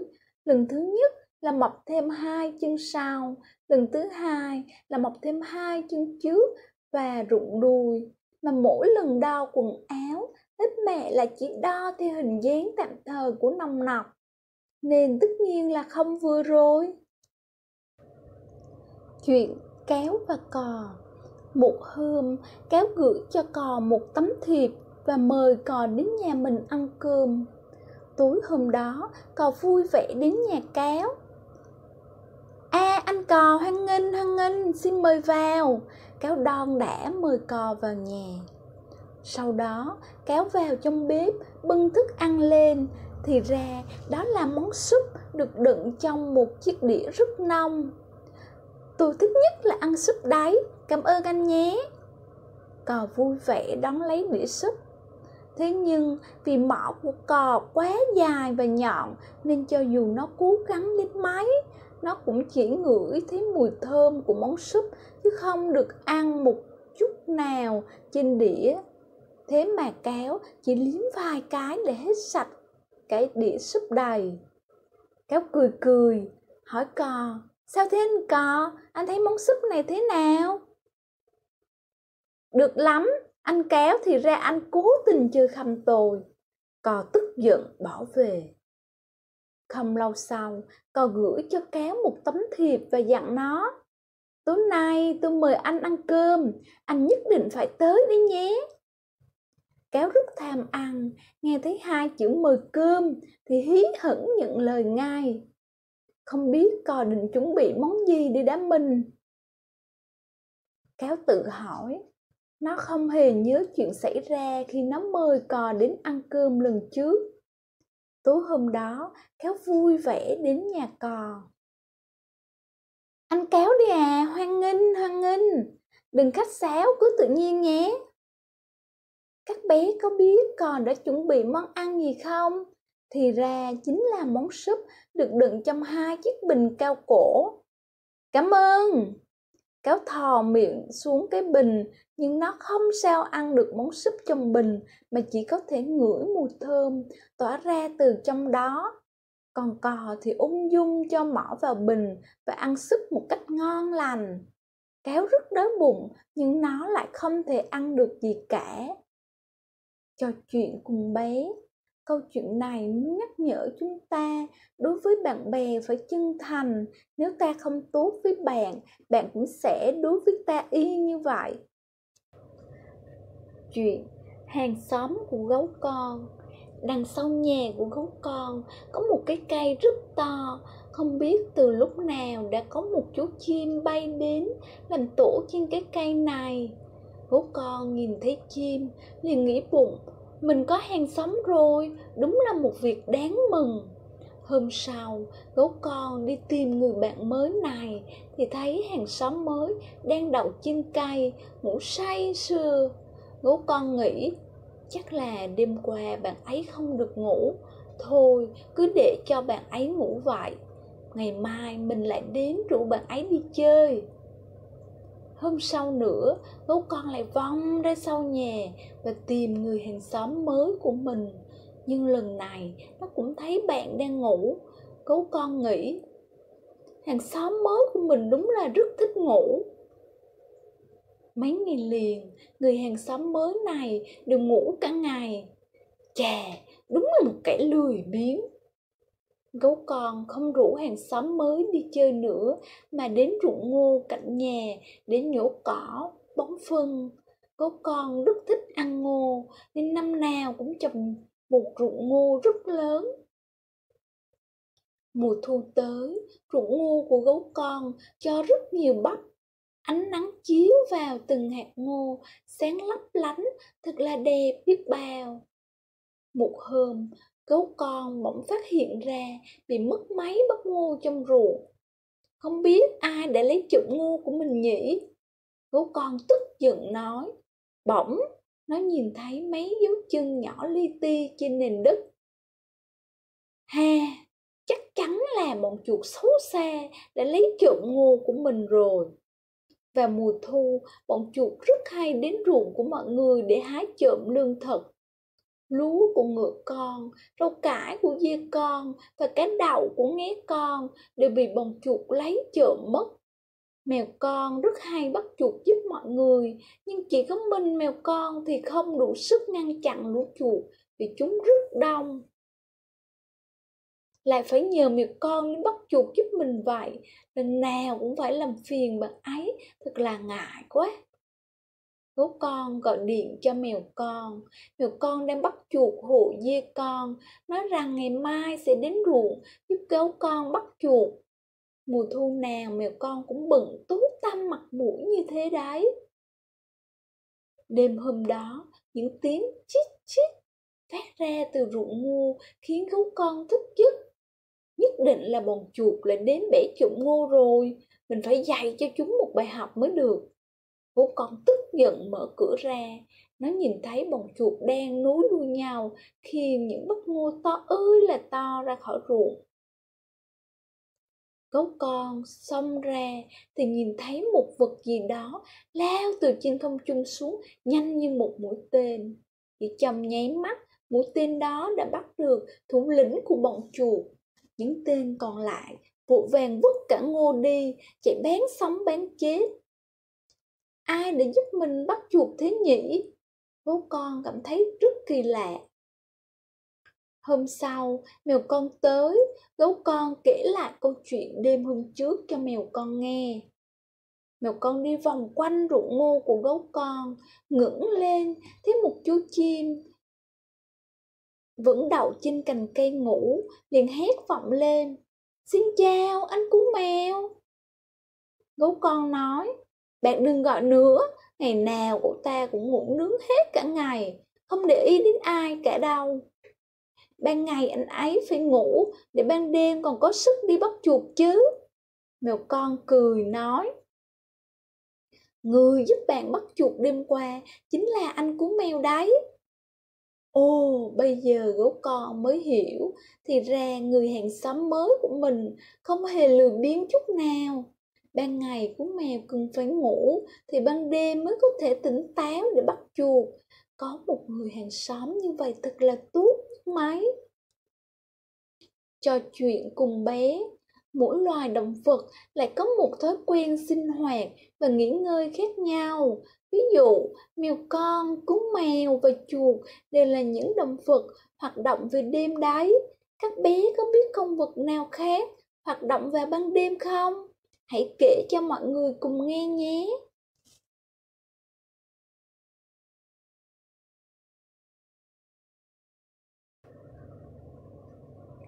Chuyện những đứa trẻ lười biếng. Mùa đông lạnh giá đã đến. Phải ở nhà một mình thỏ con cảm thấy rất buồn chán. Đúng rồi, mình phải đi tìm bạn mới được. Thế là thỏ trắng ra khỏi nhà và đi tìm bạn chơi cùng nó đến nhà gấu con, người bạn thân nhất. Nhìn thấy gấu con đang ngủ, thỏ con nghĩ bụng. Gấu con lười thế nhỉ? Mình đi tìm rắn con kia thôi. Nói xong, nó lại chạy đến nhà của rắn, thì thấy rắn cũng đang ngủ. Thỏ con lại đến nhà của ít con, và thấy ít con cũng đang ngủ. Thế là thỏ con chỉ còn cách lủi thủ đi về nhà và nói với mẹ con không bao giờ muốn chơi với các bạn ấy nữa. Thỏ mẹ hỏi, tại sao vậy?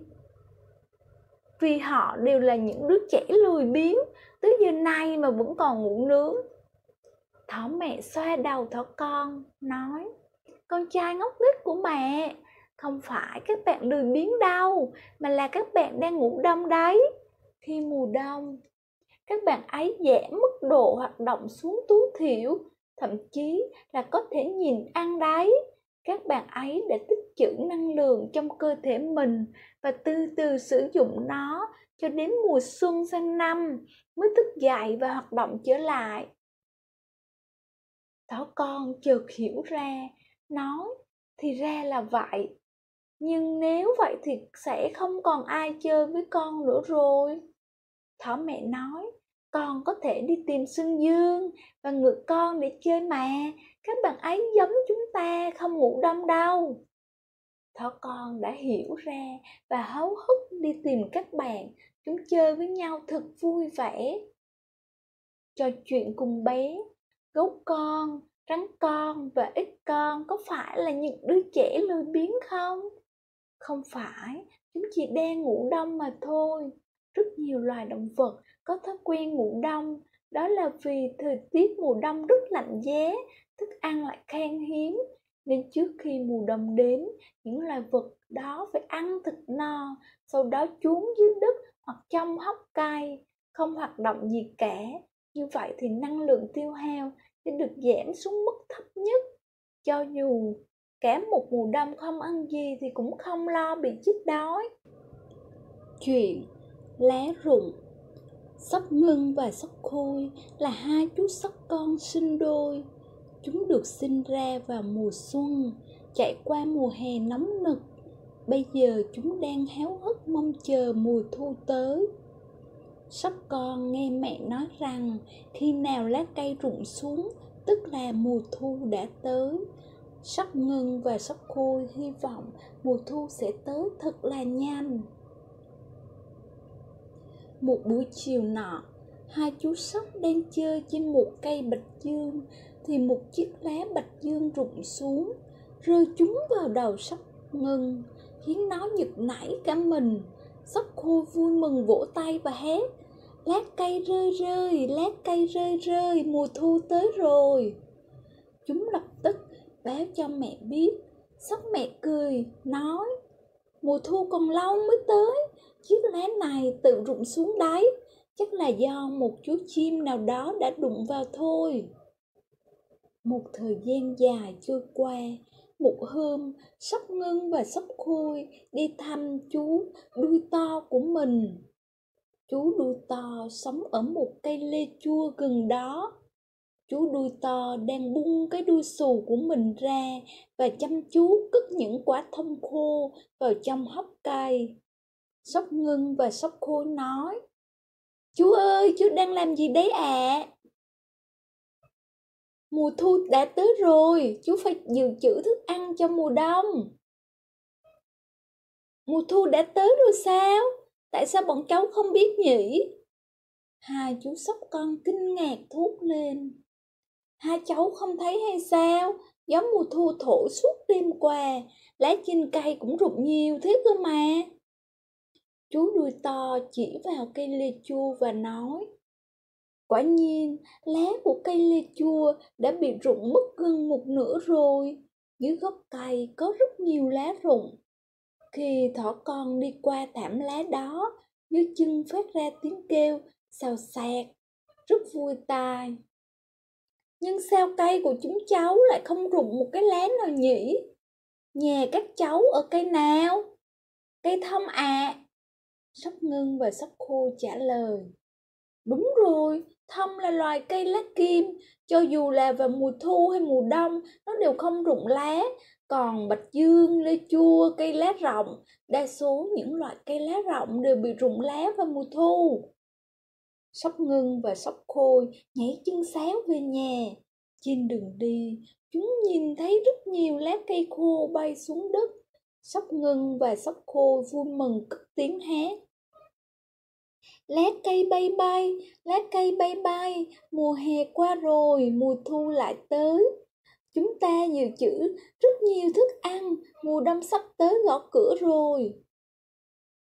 Vậy là đã đến lúc hai chú sóc con phải giúp mẹ tích trữ thức ăn cho mùa đông rồi.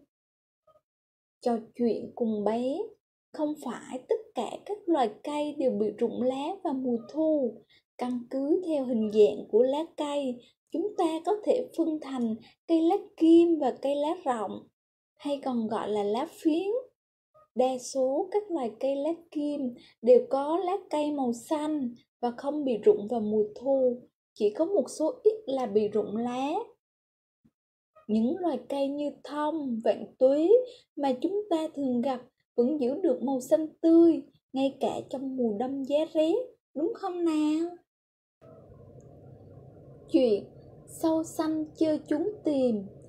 Trên đồng cỏ có một chú sâu xanh với đôi mắt to tròn, những cái chân nhỏ nhắn, những sợi lông lưa thưa và cái bụng tròn căng, béo mút mít cho mới đáng yêu làm sao. Khỉ con và nhím con rất thích sâu xanh, thường xuyên mang lá cây non đến cho sâu xanh ăn sâu xanh rất thích chơi cùng với khỉ con và nhím con? Có lúc chú sâu xanh nghịch ngợm còn bò lên cái người của khỉ con, dùng những chiếc chân nhỏ của mình cù vào bụng nó, khiến cho khỉ con cười ngặt nghẽo. Sâu xanh cũng rất thích chơi với nhím con. Nhìn thấy bóng dáng, những chú chim săn mồi bay đến là sâu xanh liền trốn xuống dưới bụng của nhím các bé, đừng thấy nhím con mặc chiếc áo toàn gai nhọn mà sợ nhé. Thực ra, dưới bụng của nó rất mềm mại, nhắn nhủi sâu xanh trốn ở dưới đó, vừa an toàn, lại vừa ấm áp. Có khi, nó còn ngủ một giấc rất say. Xưa ấy chứ. Hôm nay, khi con đi hái đào, còn nhím con đi hái táo chỉ còn sâu xanh chơi một mình trên bãi cỏ. Đúng lúc đó, có một chú gà con vừa đi dạo trên đồng cỏ vừa hét gà con rất thích bắt sâu để ăn. Sâu xanh nhìn thấy gà con, bèn lập tức trốn đi, nhưng nó đã bị gà con phát hiện rồi. Gà con hí hửng reo lên. Chú sâu non đáng yêu quá, xinh xắn quá, mình không nỡ ăn thịt nó tí nào cả mình sẽ nuôi nó trong một cái hộp để chơi với nó. Thế là gà con liền bắt sâu xanh và cẩn thận mang nó về nhà. Về tới nhà, gà con tìm được một cái hộp rất to và cho sâu xanh vào trong hộp. Dưới đế hộp, vừa tối vừa thiếu không khí, sâu xanh sợ hãi lắm. Nó vừa khóc vừa nói, khỉ con ơi, nhím con ơi, mau đến cứu tôi với nhưng tiếng gọi của sâu xanh nhỏ quá, làm sao nghĩa con và nhím con có thể nghe thấy được? Sâu xanh khóc mãi khóc mãi, cho đến khi mệt quá, nằm xuống đáy hộp ngủ thiếp đi. Sâu xanh nằm mơ thấy dưới bụng mình có những sợi tơ rất đẹp và mềm mại. Sâu xanh liền quấn những sợi tơ đó xung quanh người mình, vừa làm nó vừa vui vẻ tự nhủ mình muốn chơi trò chúng tìm với khỉ con và nhím con. Bỗng nhiên sâu xanh phát hiện ra mình đã mặc một đôi cánh rất to và đẹp. Nó muốn bay lên, nhưng nắp hộp đã bị đóng chặt. Liền lấy hết sức đập cánh vào nắp hộp giấy.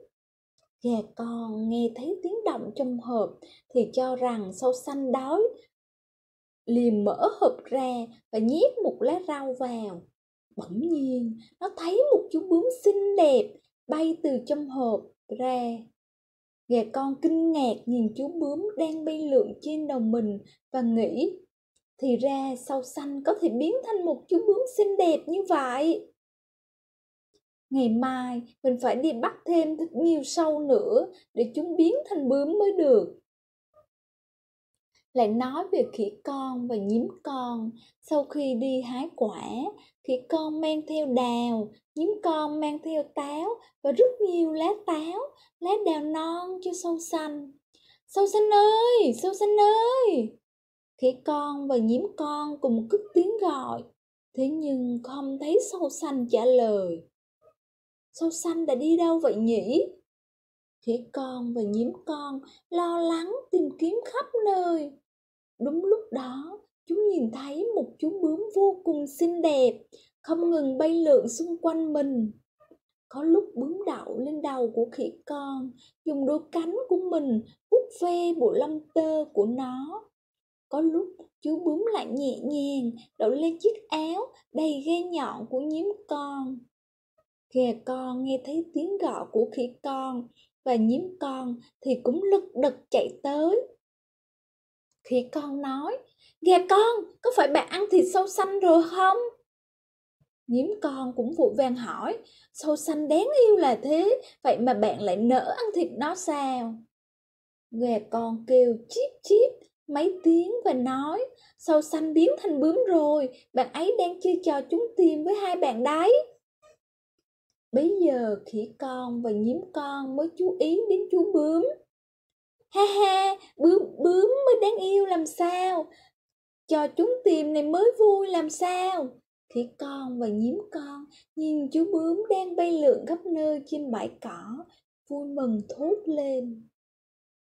Trò chuyện cùng bé, tại sao gà con nhúc sâu xanh ở trong hộp mà khi mở ra, đó lại là một chú bướm vậy thì ra, sau một thời gian phát triển sâu xanh sẽ nhẽ tơ, cuốn xung quanh người mình, tạo thành một cái kén.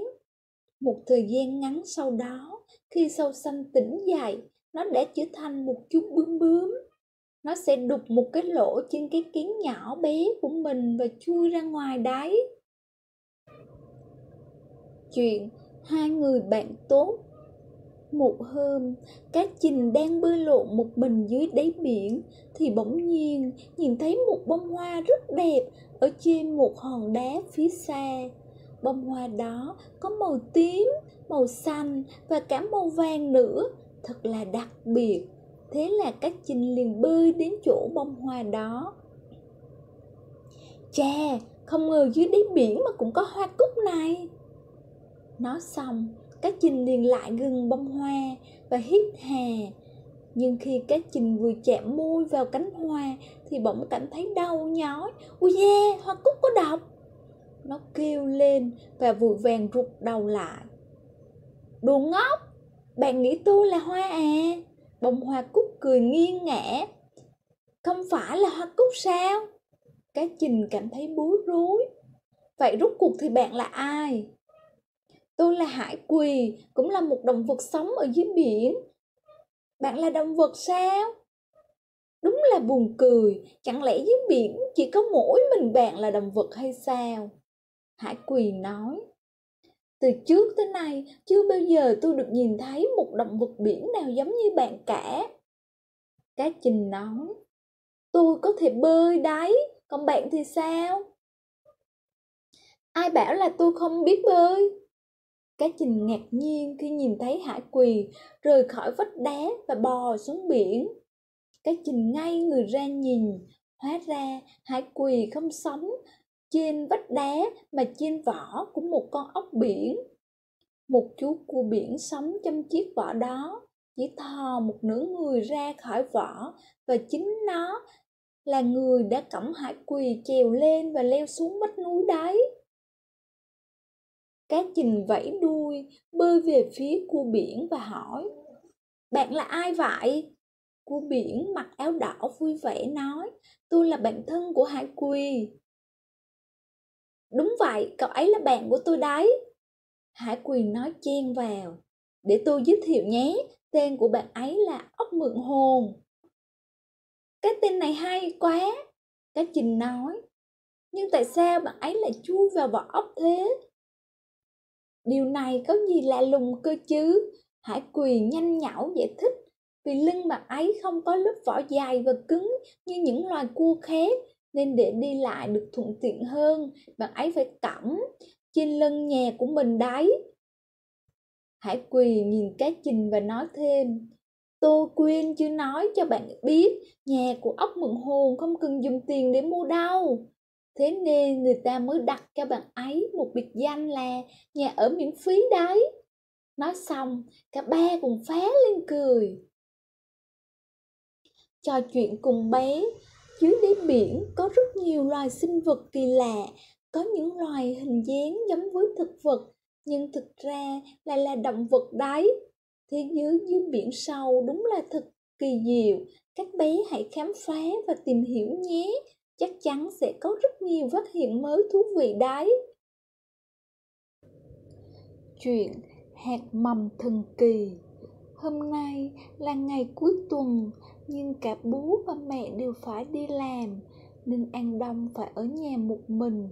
Trước khi đi, bố mẹ dặn, con ở nhà chưa ngoan nhé, đừng nghịch đồ đạc linh tinh, không cẩn thận là sẽ gặp nguy hiểm đấy cậu bé an đông, tinh nghịch, chờ bố mẹ đi rồi.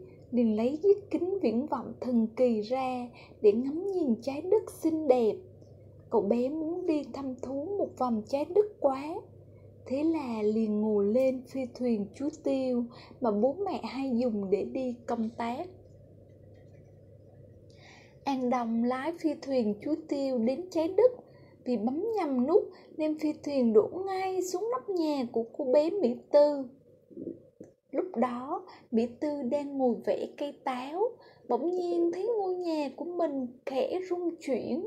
Cô bé chạy ra sân xem, hóa ra trên nóc nhà có một quả chuối tiêu khổng lồ. Một cậu bé tí hon chỉ cao bằng nửa người của mỹ tư bước ra từ phi thuyền chuối tiêu cô bé giật nảy người, nói, ô, cậu là ai vậy? An đông thân thiện nói, tôi tên là an đông, đến từ hành tinh khác. Bạn đừng sợ, tôi cũng là trẻ con như bạn thôi. Tôi có thể vào nhà bạn chơi một lúc không?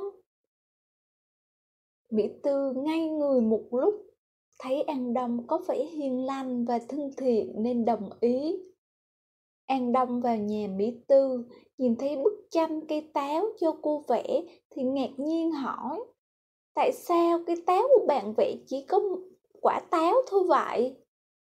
Mỹ tư chỉ vào cây táo ngoài sân trả lời, cây táo thì tất nhiên là chỉ có quả táo thôi chứ, còn có thể có quả gì khác được sao? An đông ngạc nhiên nói Cây táo nhà tôi có thể cho ra tất cả các loại quả, muốn ăn quả gì thì cây sẽ cho quả đó. Cây cối ở trên đất thật kỳ lạ, chỉ có mỗi một loại quả thôi sao? Tôi dẫn bạn ra ngoài thăm thú nhé. Thực ra, những loại cây mà bạn nói trên trái đất cũng có. Hiện nay, nhờ vào khoa học kỹ thuật phát triển rất nhiều loại rau củ và hoa quả có thể mọc trái mùa. Như vậy mà chúng tôi thích ăn thứ gì là sẽ có thứ đó. Mỹ Tư dẫn An Đông ra ngoài vườn cây bên ngoài ngôi nhà. Suốt từ lúc đó, hai bạn nhỏ mãi mê nói chuyện về những điểm khác nhau giữa cây cối ở trái đất và cây cối ở hành tinh khác. Chập tối, An Đông và Mỹ Tư ngồi trên bãi cỏ nói chuyện. Bỗng nhiên, Mỹ Tư kêu lên. Phi thuyền của bạn đau mất rồi? Phi thuyền đáp xuống trên đất sau 3 phút sẽ tự động biến mất. An Đông trả lời. Vậy bạn sẽ về nhà bằng cách nào? Mỹ Tư lo lắng hỏi. An Đông cười nói. Đến 12 giờ đêm, bố mẹ của tôi sẽ về nhà. Họ không thấy tôi ở nhà nhất định sẽ đi tìm. Vừa dứt lời, một phi thuyền có tên gọi là phi thuyền của cải đáp xuống mặt đất. Thì ra bố mẹ An Đông đến đó mà ấy rồi.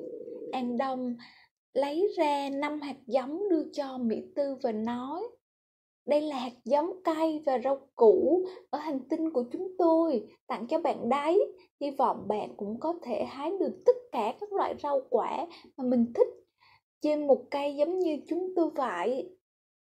Nói xong, An Đông cùng bố mẹ về nhà.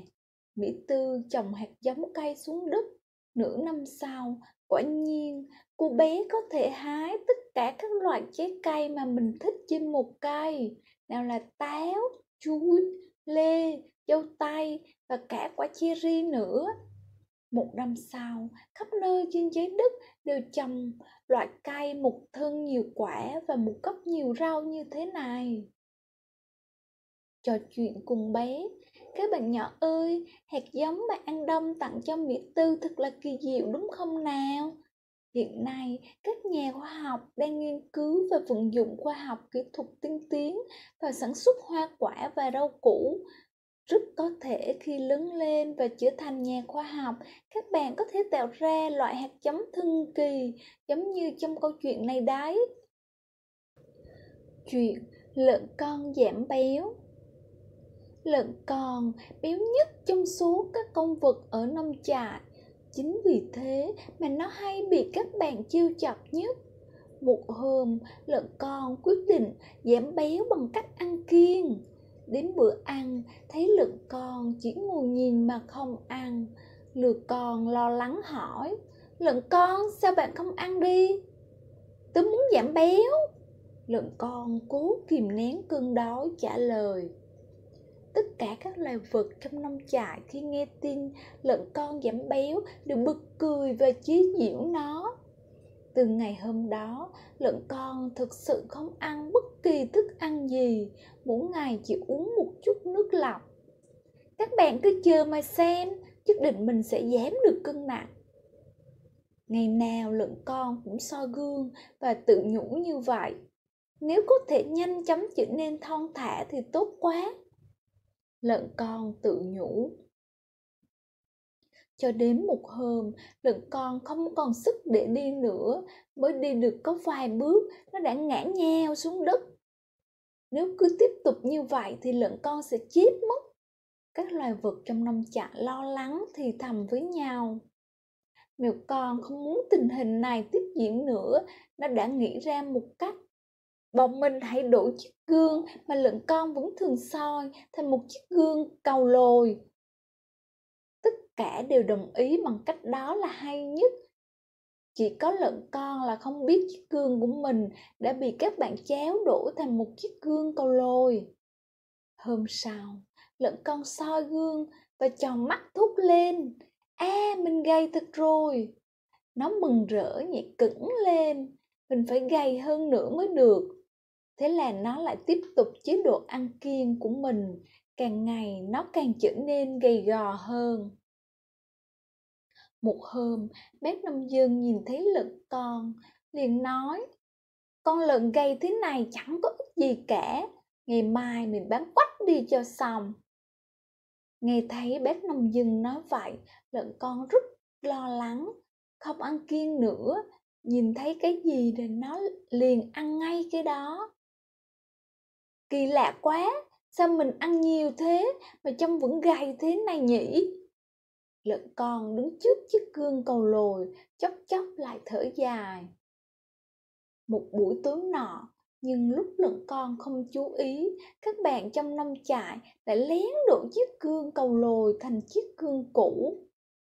Sáng hôm sau, chưa mở mắt, lợn con đã vội vàng chạy đến chiếc gương, bụng nghĩ lần này chắc là mình bị bán đi rồi. Thế nhưng lợn con kinh ngạc thốt lên. Oe mình béo ra nhiều quá. Nó không biết là chiếc gương đã được cháo đổi nên vui vẻ và nhảy cẫng lên.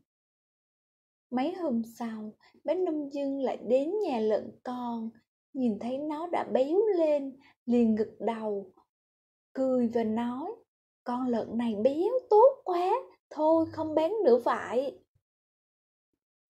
Từ đó về sau, mỗi ngày lợn con được chiến sạch suất ăn của mình và không bao giờ nghĩ đến chuyện giảm béo nữa.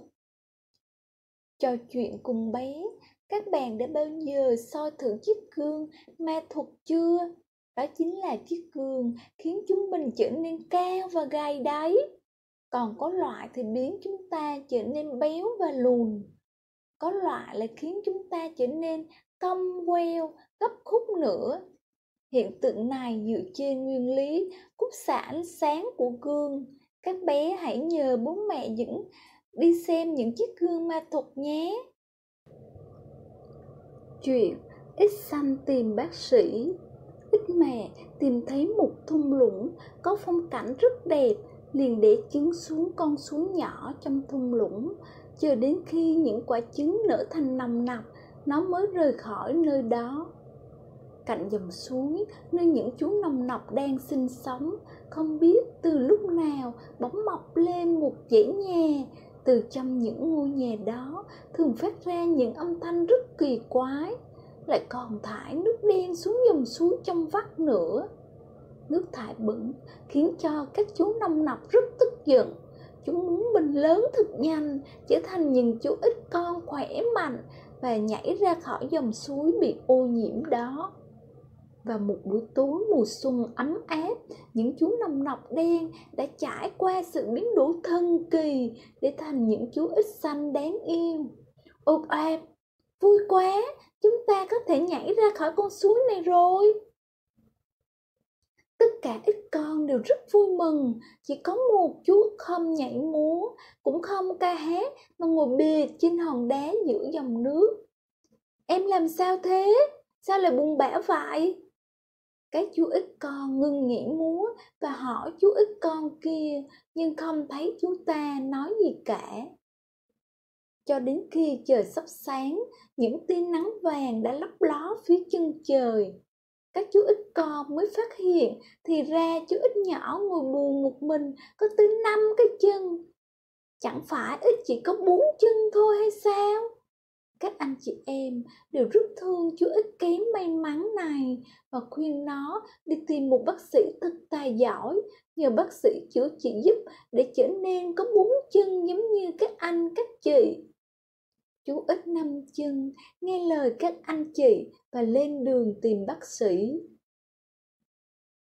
Ít con đến một bãi cỏ, nhìn thấy những bụi cỏ bướm đang nhảy múa, nó liền hỏi, các chị xinh đẹp ơi, các chị có thể nói cho em biết phải đi đâu để tìm một bác sĩ giỏi không? Cỏ bướm dừng khiêu vũ, chính là nhị hoa vừa bị gió cuốn tung lên và nói các loài hoa cỏ chúng tôi khi bị bệnh thường đến tìm anh bò rùa anh ta là một bác sĩ rất giỏi đấy ít con cảm ơn các chị có bướm và vội vã chạy đi tìm bác sĩ bọ rùa Đến tận tối hôm đó, nó mới tìm thấy bọ rùa đang làm việc trên một bông hoa cúc chi. Bọ rùa nói với ít con rằng nó chỉ có thể chữa bệnh cho các loài hoa cỏ, bắt sâu hại trên thân cây thôi. Còn bệnh của ít con thì bọ rùa không chữa được. Vậy là X con lại tiếp tục đi tìm bác sĩ khác. Anh ké đầu ngựa ơi, anh có thể chỉ cho tôi chỗ nào có bác sĩ giỏi không?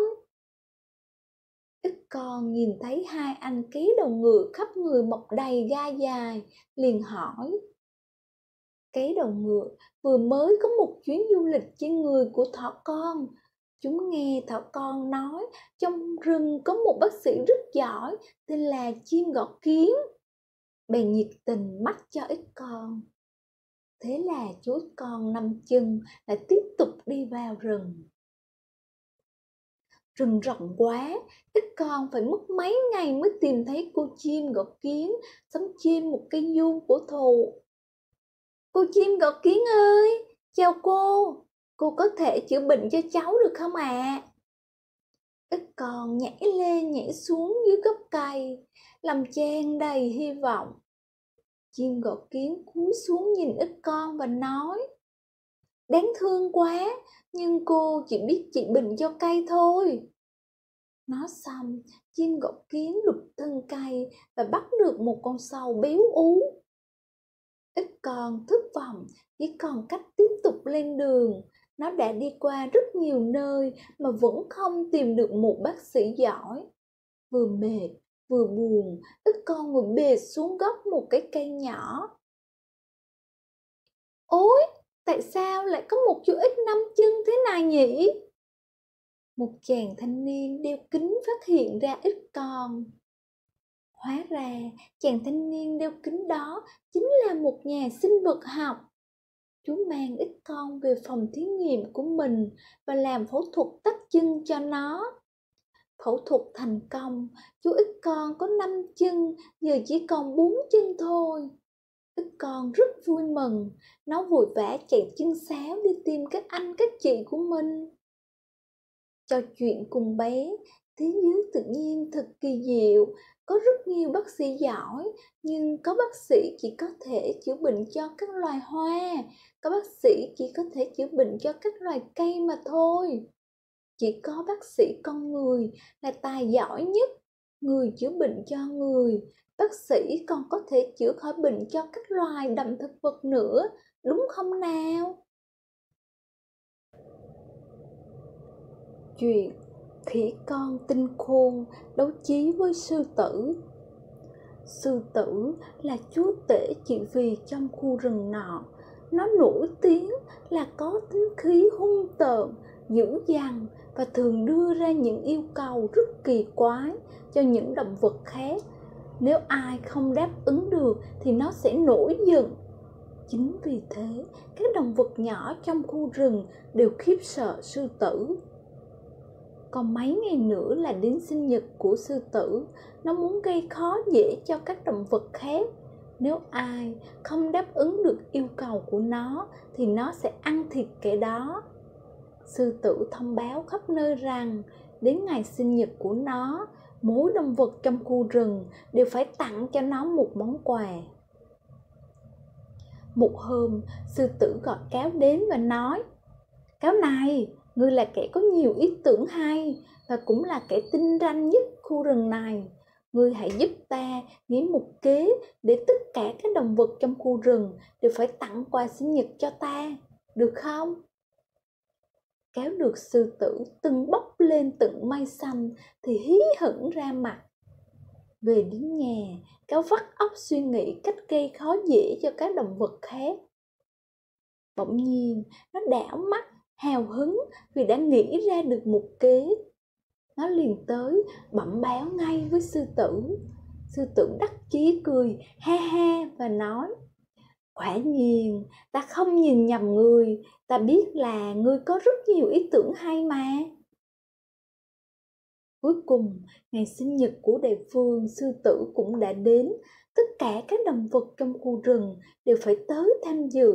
Sư tử phát biểu món quà sinh nhật mà ta muốn chính là các ngươi phải đựng nước và một cái giỏ tre và mang đến đây. Các động vật trong rừng nghĩ, cái này thì có khó gì chứ?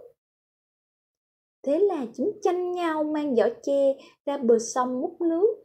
Ai cũng muốn là người mang quà về nhanh nhất.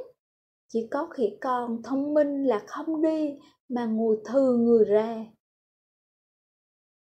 một lát sau các động vật khác đều đã về và nói với sư tử, đại vương, chúng tôi đã mang nước về cho ngài rồi đây ạ. À. sư tử nhìn vào giỏ tre, nước đi đâu mất rồi? Nó liền tức giận, đòi ăn thịt chúng. Các con vật trong rừng đều cảm thấy rất kỳ lạ. Rõ ràng, lúc nãy đã múc đầy nước vào giỏ, sao bây giờ lại không còn chút nước nào nhỉ? Khỉ con thông minh nói với sư tử, đại vương, tôi có thể mang nước về cho ngài. Tất cả các loài vật đều thấy tò mò. Một lát sau, quả nhiên khỉ con đã mang nước về, cáo nói, đây có phải là nước đâu, rõ ràng là đá mà. Khỉ con thông minh nói, nếu dùng giỏ che để đựng nước thì nước sẽ chảy qua những khe hở trên giỏ không còn chút nào cả tôi cho đá cục vào đây. Một lúc nữa, những viên đá này tan chảy thành nước thì chẳng phải là chúng ta sẽ có nước hay sao? Bấy giờ, mọi người mới hiểu và khen ngợi khi con thông minh hơn người. Sư tử tẻn tò, không nói gì được nữa. Trò chuyện cùng bé sư tử muốn mượn cớ tặng quà để ăn thịt các động vật khác trong khu rừng thế nhưng khỉ con thông minh đã phá vỡ kế hoạch của nó, vì khỉ con biết rằng khi nước gặp nhiệt độ thấp thì sẽ đông thành đá, còn gặp nhiệt độ cao thì sẽ bốc hơi. Chính vì thế, nó đã lợi dụng đặc tính này của nước để vừa hoàn thành nhiệm vụ, vừa cứu được các bạn đấy. Bộ ria của mèo mướp nhà nhật minh có nuôi một chú mèo mướp. Một hôm, nhật minh vừa đi học về, vội vã chạy ra sân chơi đùa với mèo mướp. Cậu bé nhìn thấy bộ rau của mèo mướp thật là lộn xộn. Sợ thì ngắn quá, sợ thì dài quá. Bèn nghĩ bụng, mình phải cắt tỉa lại bộ rau của mèo mướp cho thật đẹp mới được. Nhật minh liền bế mèo mướp lên ghế và nói mèo mướp, không được chạy, chờ chút ta quay lại ngay nhé. Nói xong, nhật minh chạy vào phòng của mẹ, mở ngăn kéo đồ giường để tìm kéo. Mãi một lúc sau, cậu bé mới tìm thấy chiếc kéo. Đúng lúc đó thì mẹ đi vào phòng, hỏi nhật minh, con đang làm gì thế? Con tìm kéo. Con tìm kéo làm gì? Con cắt rau cho mèo mướp ạ à. mẹ nghe nhật minh nói thế liền cười và nói, ái chà, con nghịch quá, không được cắt rau của mèo mướp đâu con sao lại không được cắt rau ạ à? rau của nó mọc lung tung, phải cắt cho bằng nhau thì mới đẹp chứ à mẹ nhẹ nhàng giải thích, bộ rau của loài mèo rất là hữu ích, không được cắt đâu con ạ à ồ, rau thì có ích gì vậy hả mẹ? Chẳng phải khi rau của bố mập dài quá thì cũng phải ra tiệm cắt tóc để cạo đi thôi. Mẹ cười và nói, rau của mèo không giống với rau của con người. Độ dài của rau mèo phụ thuộc vào kích thước cơ thể của nó. Con mèo nào càng to thì rau của nó càng dài. Vậy thì có ích gì ạ? À? ồ, rất có ích là đằng khác trước khi con mèo chui vào một cái hang nào đó, nó sẽ chui đầu vào trước. Nếu rong mèo bị va vào thành hang, thì nó sẽ biết là mình không thể chui vừa vào đó. Còn nếu rau của mèo không chạm vào thành hang, thì nó có thể chui vào trong. Con xem rau mèo có tác dụng rất lớn đúng không nào? Ồ, nhật minh đã hiểu rồi. Thì ra bộ rau của mèo con có tác dụng lớn như vậy thế là nhật minh chạy lại vút bộ rau của mèo mướp và nói, từ nay về sau tao sẽ không kéo rau của mày nữa đâu. Mèo mướp kêu lên mấy tiếng, meo meo meo. Hình như nó cũng hiểu những gì nhật minh nói. Bỗng nhiên, một con chuột cấm chạy ngang qua mèo mướp nhảy phát một cái về phía con chuột, nhưng con chuột đã chui vào hang mất rồi mèo mướp liền chạy đến cái hang chuột, chui đầu vào đó. May quá, cái hang không lớn quá, cũng không nhỏ quá. Râu của mèo mướp không bị chạm vào thành hang. Các bé thử đoán xem, mèo mướp có thể bắt được con chuột đó không nhé? Trò chuyện cùng bé, các bé không ngờ bộ râu của mèo mướp có tác dụng lớn đến thế, đúng không nào? Từ nay về sau, khi chơi với mèo, các bé không được nhổ hay kéo râu mèo đâu nhé. Nhím con và ngôi nhà bí đỏ.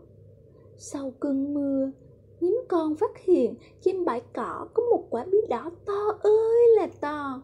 Nó đi vòng quanh quả bí và sung sướng cười phá lên. Cuối cùng thì mình cũng có nhà mới rồi thế rồi nhím con đẩy quả bí đỏ đến dưới một gốc cây, khoét bỏ hết ruột và hạt của nó. Sau đó, còn chỗ một cái cửa ra vào và cửa sổ nữa. Nó làm bậc thang, chảy thảm như sàn và đặt mấy chậu hoa nhỏ trên bậu cửa sổ. Nhìn quả bí đỏ bây giờ đã ra dáng một ngôi nhà lắm rồi hôm sau, nhím con đi mua một tấm rệp xanh. Định treo lên cửa sổ. Đúng lúc đó kéo đỏ xách hai thùng sơn đến nhà nhím con và nói, bạn nhím này, nhà của bạn đẹp thật đấy. Nếu sơn thêm hai thùng sơn này lên thì chắc chắn còn đẹp hơn nữa kia hóa ra, cáo đỏ có một cửa tiệm chuyên bán đồ trang trí nội thất nó thường vào rừng tìm kiếm khách hàng như thế này.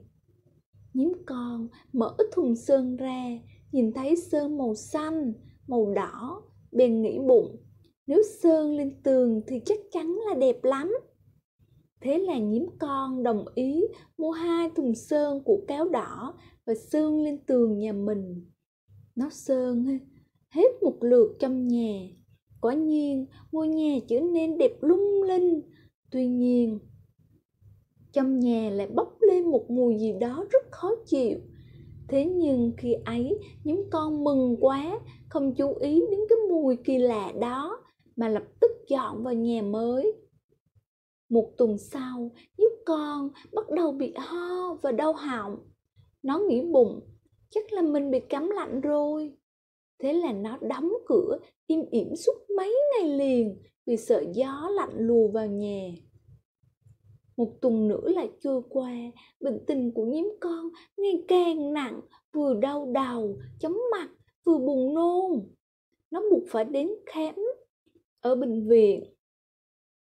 Đến bệnh viện, bác sĩ xuân dương cũng biết nhím con vừa chuyển sang nhà mới. Liền áp ống nghe vào người nó và nói, bạn bị nhiễm độc chất formaldehyde rồi. Nhà mới sửa xong, không được chuyển vào nhà ở ngay, phải chờ một thời gian, mở hết cửa ra cho thoáng khí, nếu không sẽ bệnh đưa hít sao thưa bác sĩ? Đó là cái gì thế? Những con ngạc nhiên hỏi, đó là một chất khí độc tiềm tàng trong sơn. Nói xong, bác sĩ Xuân Dương khuyên nhím con, bạn cứ uống thuốc trước đã, chuyển ra khỏi nhà một thời gian, sau đó mời chuyên gia ngự vằn đến nhà, kiểm tra nồng độ formaldehyde nhé. Ra khỏi bệnh viện nhím con lập tức gọi điện cho ngự vằn. Ngự vằn mang một loại máy đặc biệt đến nhà nhím con và đo được nồng độ formaldehyde cao hơn gấp 3 lần mức cho phép bạn mua phải sưng rỡm rồi, đáng lẽ phải dùng loại sơn bảo vệ môi trường mới đúng chứ. ngưu văn nói, nhím con nghe thấy thế, dựng hết cả gai ngọn lên. Nói, thế bây giờ phải làm sao? Mau đi mua một ít than hoạt tính về, than hoạt tính có thể hút bớt chất độc trong nhà. Ngoài ra, bạn nên mở cửa sổ ra để thoáng khí ba tháng sau hẳn dọn vào nhà mới nhé. Bạn còn có thể đặt một vài loại cây có khả năng hút chất độc trong nhà, ví dụ như cây lục thảo chỗ hoặc cây châu ba tôi hiểu rồi, cảm ơn anh ngựa văn. Những con gật đầu, làm theo lời ngựa vằn sau đó những con kể lại câu chuyện của mình cho các loài vật khác cùng biết nhắc mọi người sau này, xứ nhà phải đặc biệt chú ý đến điều này. Các động vật khác, kể từ khi biến được sự nguy hiểm khi không khí trong nhà bị ô nhiễm thì đều không dám coi thường nữa. Từ đó, ai cần sửa nhà cũng ra chợ mua sơn thân thiện với môi trường, chứ không đến tiệm sơn của cáo đỏ nữa trò chuyện cùng bé. Các bạn nhỏ có biết ai sắp sửa chuyển đến nhà mới không? Các bé luôn nhớ nhé, sơn không đạt tiêu chuẩn có nồng độ formaldehyde vượt mức cho phép. Formaldehyde là một chất độc, nếu thường xuyên tiếp xúc với nó thì sẽ bị bệnh đái chính vì thế, nếu các bé chuyển sang nhà mới thì đừng quên nhắc bố mẹ, sử dụng sơn thân thiện với môi trường đấy nhé dâu tay nhỏ, một quả dâu tay nhỏ mặc chiếc váy màu đỏ tươi đội một cái mũ xanh đang chạy tung tăng trên bãi cỏ. Dí mèn nhìn thấy dâu tay liền nói, dâu tay mới xinh đẹp làm sao? Tôi hát một bài cho bạn nghe nhé. Thế rồi, dí mèn gãy đàn guitar, hát một bài rất hay. Dâu tay nhảy múa theo tiếng đàn của dí mèn một cách vui vẻ đom đóm, nhìn thấy dâu tay liền nói dâu tay mới xinh đẹp làm sao? Múa mới đẹp làm sao? Tôi xin tặng bạn một chiếc đèn lồng. Thế rồi, đom đóm tặng cho dâu tay một cái đèn lồng sáng lấp lánh lấp lánh, đẹp hơn cả những ngôi sao trên trời. Có chiếc đèn lồng đom đóm tặng dâu tay không còn sợ đi ngoài đường vào buổi tối nữa trời đã tối chị mặt trăng trên keo nói vọng xuống. Dâu tay ơi, dâu tay mau ra đi chơi đi. Nghe thấy tiếng gọi của mặt trăng, dâu tay liền nhẹ nhàng đi ra ngoài. Nó không muốn đánh thức bố mẹ. Bố mẹ nó đã làm việc mệt nhọc cả ngày, bây giờ rất cần được nghỉ ngơi. Dâu tay mới đáng yêu và xinh đẹp làm sao?